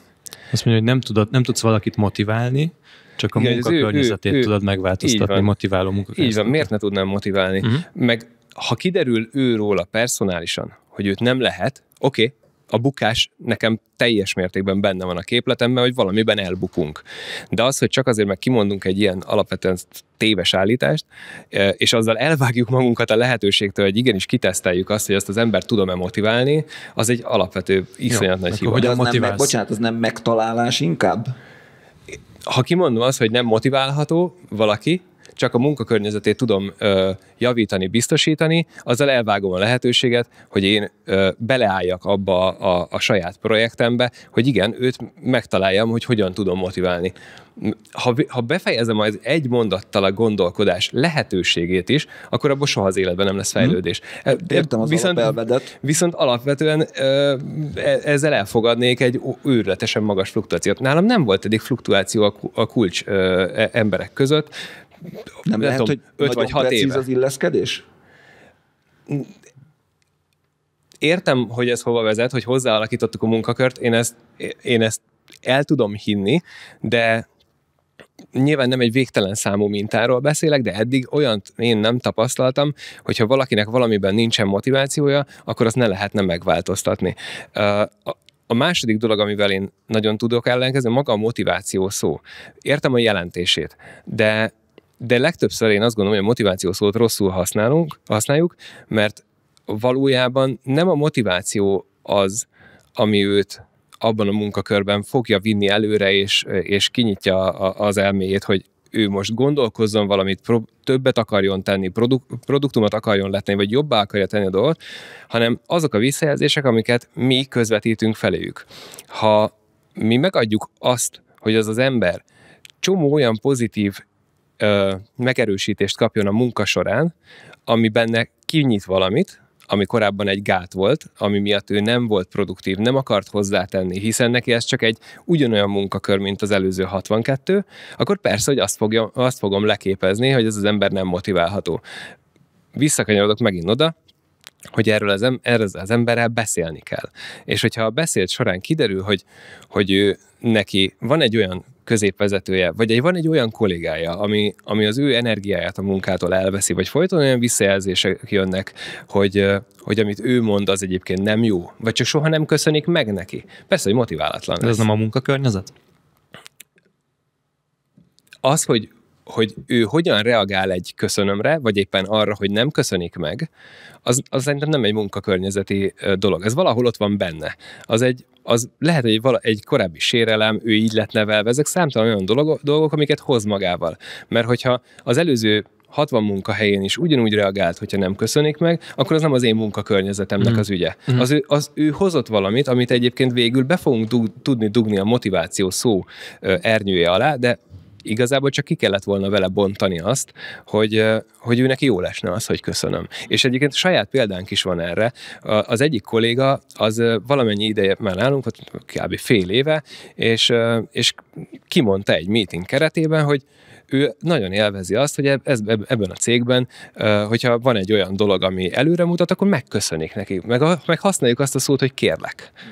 Hogyha valaki ezzel a, a, az alaphelyzettel jön egy céghez, hogy eddig se köszönték meg, és eddig se mondták a kérlek szót, akkor nem tudom elvárni tőle, vagy nem, nem elvárható, hogy egy ugyanilyen helyzetben, hogy nem köszönjük meg, és nem használjuk azt a szót, hogy kérlek, ő motiváltan előre, előre mutató dolgokat tegyen le az asztalra. Viszont, hogyha, hogyha valahol ezt kibontod, és neki visszaadod azokat a, az impulzusokat, amik egyébként kéne ahhoz, hogy motiváció legyen, akkor az a motiváció, ami benne, ő benne ott van, vagy azok a gátló tényezők, azok lebonthatók. Oké. Okay. És a, a, a, nevezhetjük ezt munkakörnek, ugyanakkor ez nem a munkakörből fakad, hanem ő belőle. Munkakörnyezet. Aha.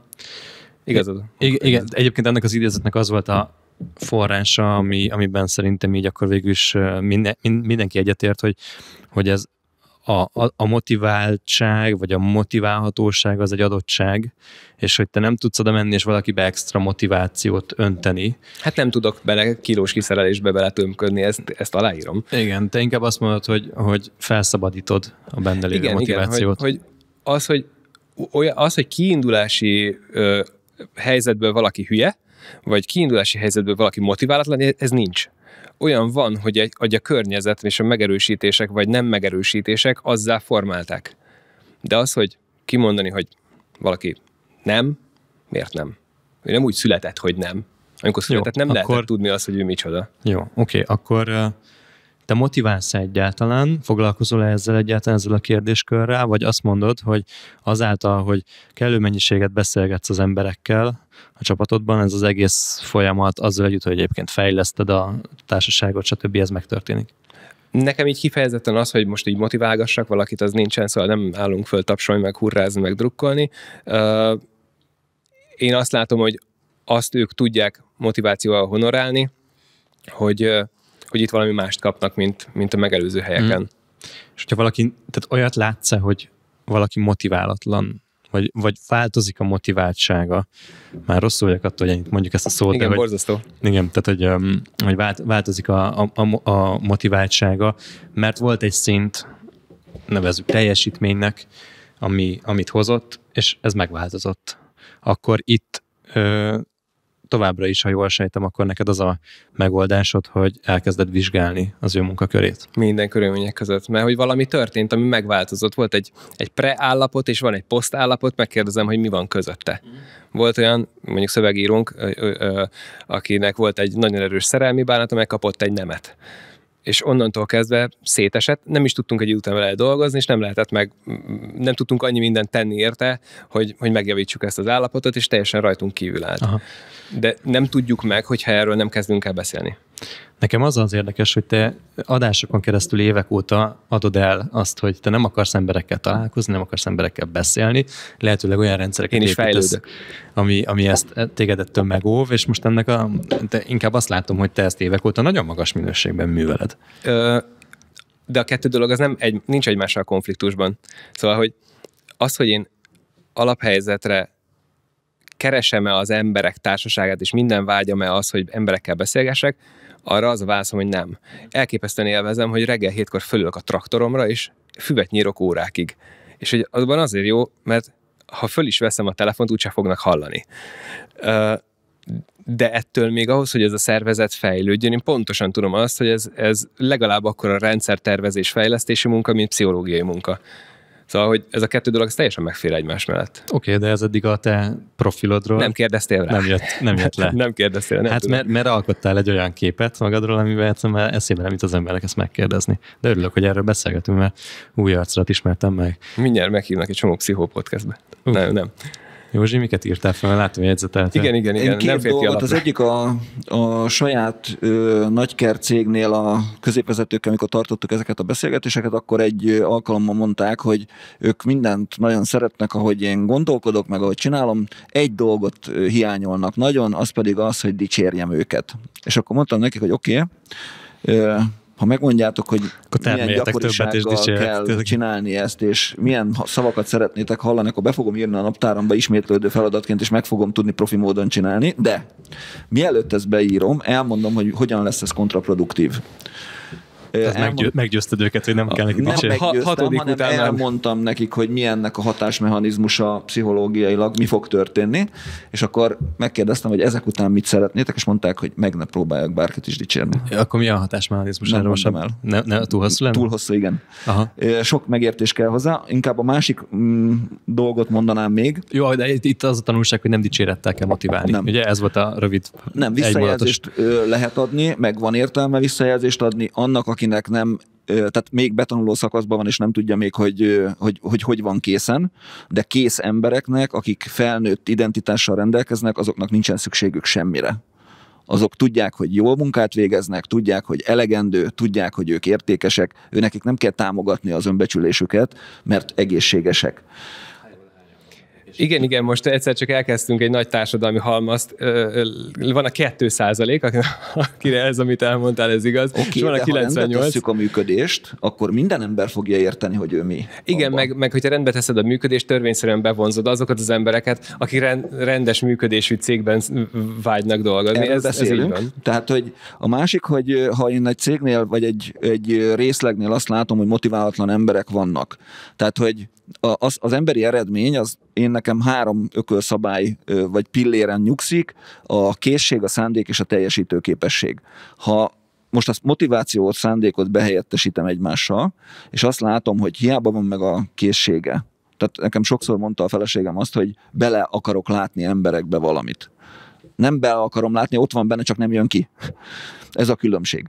Tehát, hogyha a készség ö, megvan, megvan a, meg lenne egyébként a teljesítőképessége, nincs meg a szándéka, tehát nem motiválja saját magát, nincs meg a semmi, ne, nem akar mozogni, akkor én abban nem akarok beavatkozni. Viszont, hogyha az van, amit az Oli mondott az előbb, hogy volt, de valami történt vele, vagy én nem tudom, hogy mi volt, de most látok egy állapotot, akkor ezt nagyon gyorsan meg lehet vizsgálni, mert egyszerűen csak nyitott kérdéseket teszünk föl neki a munkakörével, feladataival kapcsolatban, és abból tökéletesen kiderül, hogy ő ebben mozgatható-e vagy nem. Nem motivációról beszélek, csak a, a elromlott motivációjának a visszaállításába hogy arra van-e reményünk, vagy nincsen. És egy 20-25 perces beszélgetése ezt 100%-os biztonsággal meg lehet mondani a cégvezetőnek, hogy az az ember az fog-e fejlődni, vagy nem fog fejlődni.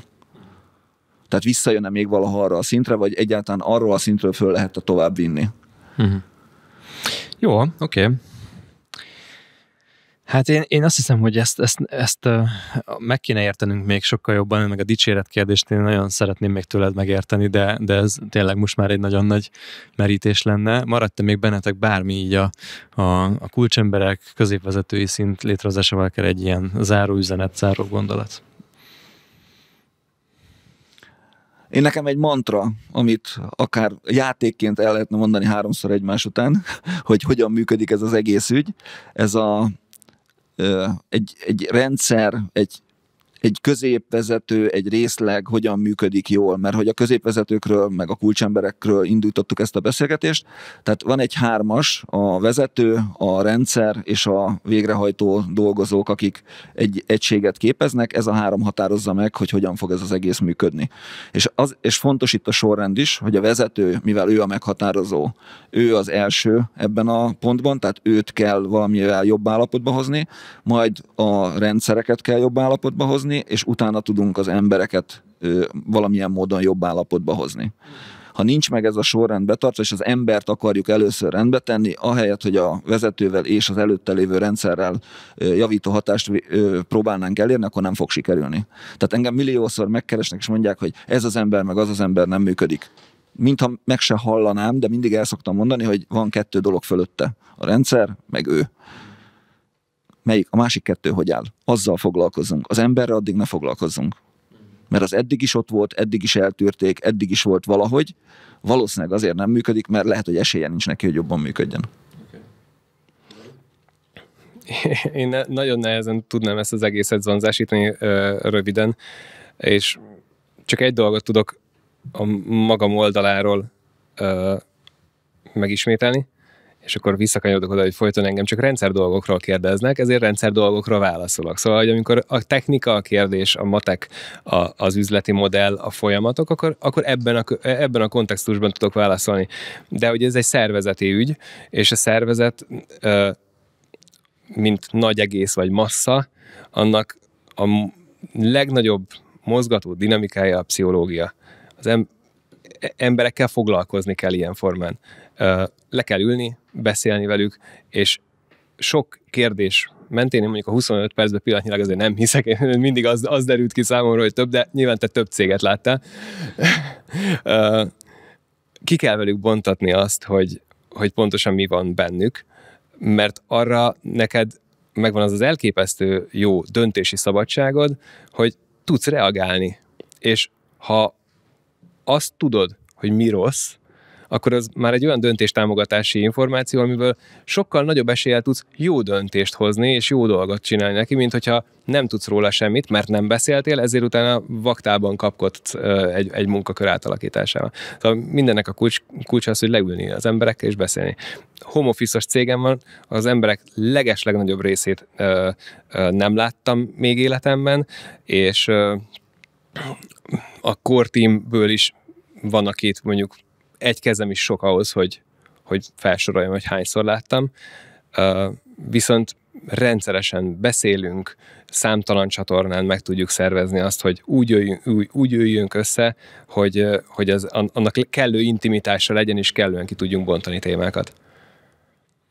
Oké, okay. ez egyébként válasz a motiváció kérdésére, kapacitásnak a megértésére, a munkakör fejlesztésére, a hatékonyság javítására, mindenre, amiről beszélgettünk. Akkor ugye? mégis van egy általános igazságú. Igen, igen. A másik meg az, hogy azért kérdeztéget mindenki a rendszerekről, mert az első Business Boys podcast adásban bejöttél, ilyen dolgokat kezdtél el mondani, és aztán azóta a branded így épült fel. Ez ez egy, nem tudom, ez egy ilyen történeti hm? igen. hagyatékod. Pázoltánt a Business is csinálta. Hát legalábbis emberré tettünk, és egyre jobb, egyre jobb. Kirakt, kiraktunk a színpadra. Nem, nem, nem, nem. Mi, mi vagyunk lekötelezve, hogy a tudásoddal, hogy Józsira is így tekinthetünk, gazdagítjátok ezt a műsort, és nagyon sokan egyébként örülnek, hogyha a ti neveteket majd látják ebben, a, ebben az adásban, amikor még csak a címre rákattintanak, azt mondják, hogy Tomás Józsi Pázoli Puff egy kattint, és meghallgatja, és váratlan dolgokat hozott ez az adás szerintem. Olyan, dolgokat, olyan dolgokról beszéltünk, amikre nem számítottam, azt hittem, hogy ilyen sokkal inkább ilyen, ilyen Excel táblás lesz ez a, ez a beszélgetés, és közben lejöttünk oda, hogy, hogy mennyire a, a, az ember, meg a pszichológia meghatározó ebben. Úgyhogy nagyon szépen köszönöm nektek. Szuper Én volt. is köszönöm, hogy itt lettem. Köszönjük a lehetőséget. Kedves hallgatóink, ez volt, és nézőink persze, ez volt a Business Boys Podcastnek a sokadik epizódja. Eh, Tomá Józsival, aki eh, cégfejlesztő, stratéga, specialista, és Pál Zolival beszélgettem, aki az ALH-nak a tulajdonosa, visszatérő vendége a Business Boysnak, és rengeteget lehet tanulni ezektől az emberektől cégépítés, cégfejlesztés témában, és remélem, hogy ez a mai adás is nagyon sok újdonságot adott nektek. Ha szeretnétek összetett módon tanulni még sok-sok más területről, ami a vállalkozásban a mai napon nem került terítékre, akkor a Business Boys Pro az, ami nektek való. Értékesítésről, marketingről, automatizációs lehetőségekről, rendszerfejlesztésről és pénzügyekről 12 hónapon át tartó folyamatos kurzusokat találtok, úgyhogy gyertek, nézzétek meg a bbpro.hu-t, és hogyha viszont szeretnétek gyors impulzusokat kapni tőlünk, akkor pedig az impulzus hírlevélre iratkozzatok fel. Ez a bbpro.hu per feliratkozás oldalon érhető el. Ugyanúgy, hogyha még jó benyomásokat szeretnétek tőlünk, akkor az átcsoportunkat ajánljuk. Ez a Facebookon megtalálható Business Boys Podcast csoport néven, azt hiszem, ezek a legfontosabbak, kövessetek minket a social felületeinken, kövessétek ezeket a nagyszerű szakembereket, akikkel beszélgettünk. Józsit most már TikTokon is lehet, ugye? Jól tudom? Igen, a, a TikTok az elég régóta fent van, de most már megvannak az első ö, ügyfelek is, akik csak TikTokon találkoztak velem. Hát igen, ez a modern, modern generációja a consulting businessnek, amikor már csak a TikTok is elég. Úgyhogy nézzétek ezeket az embereket, nézzétek minket, két hét múlva jövünk egy következő epizóddal, köszönöm, hogy velünk voltatok, sziasztok!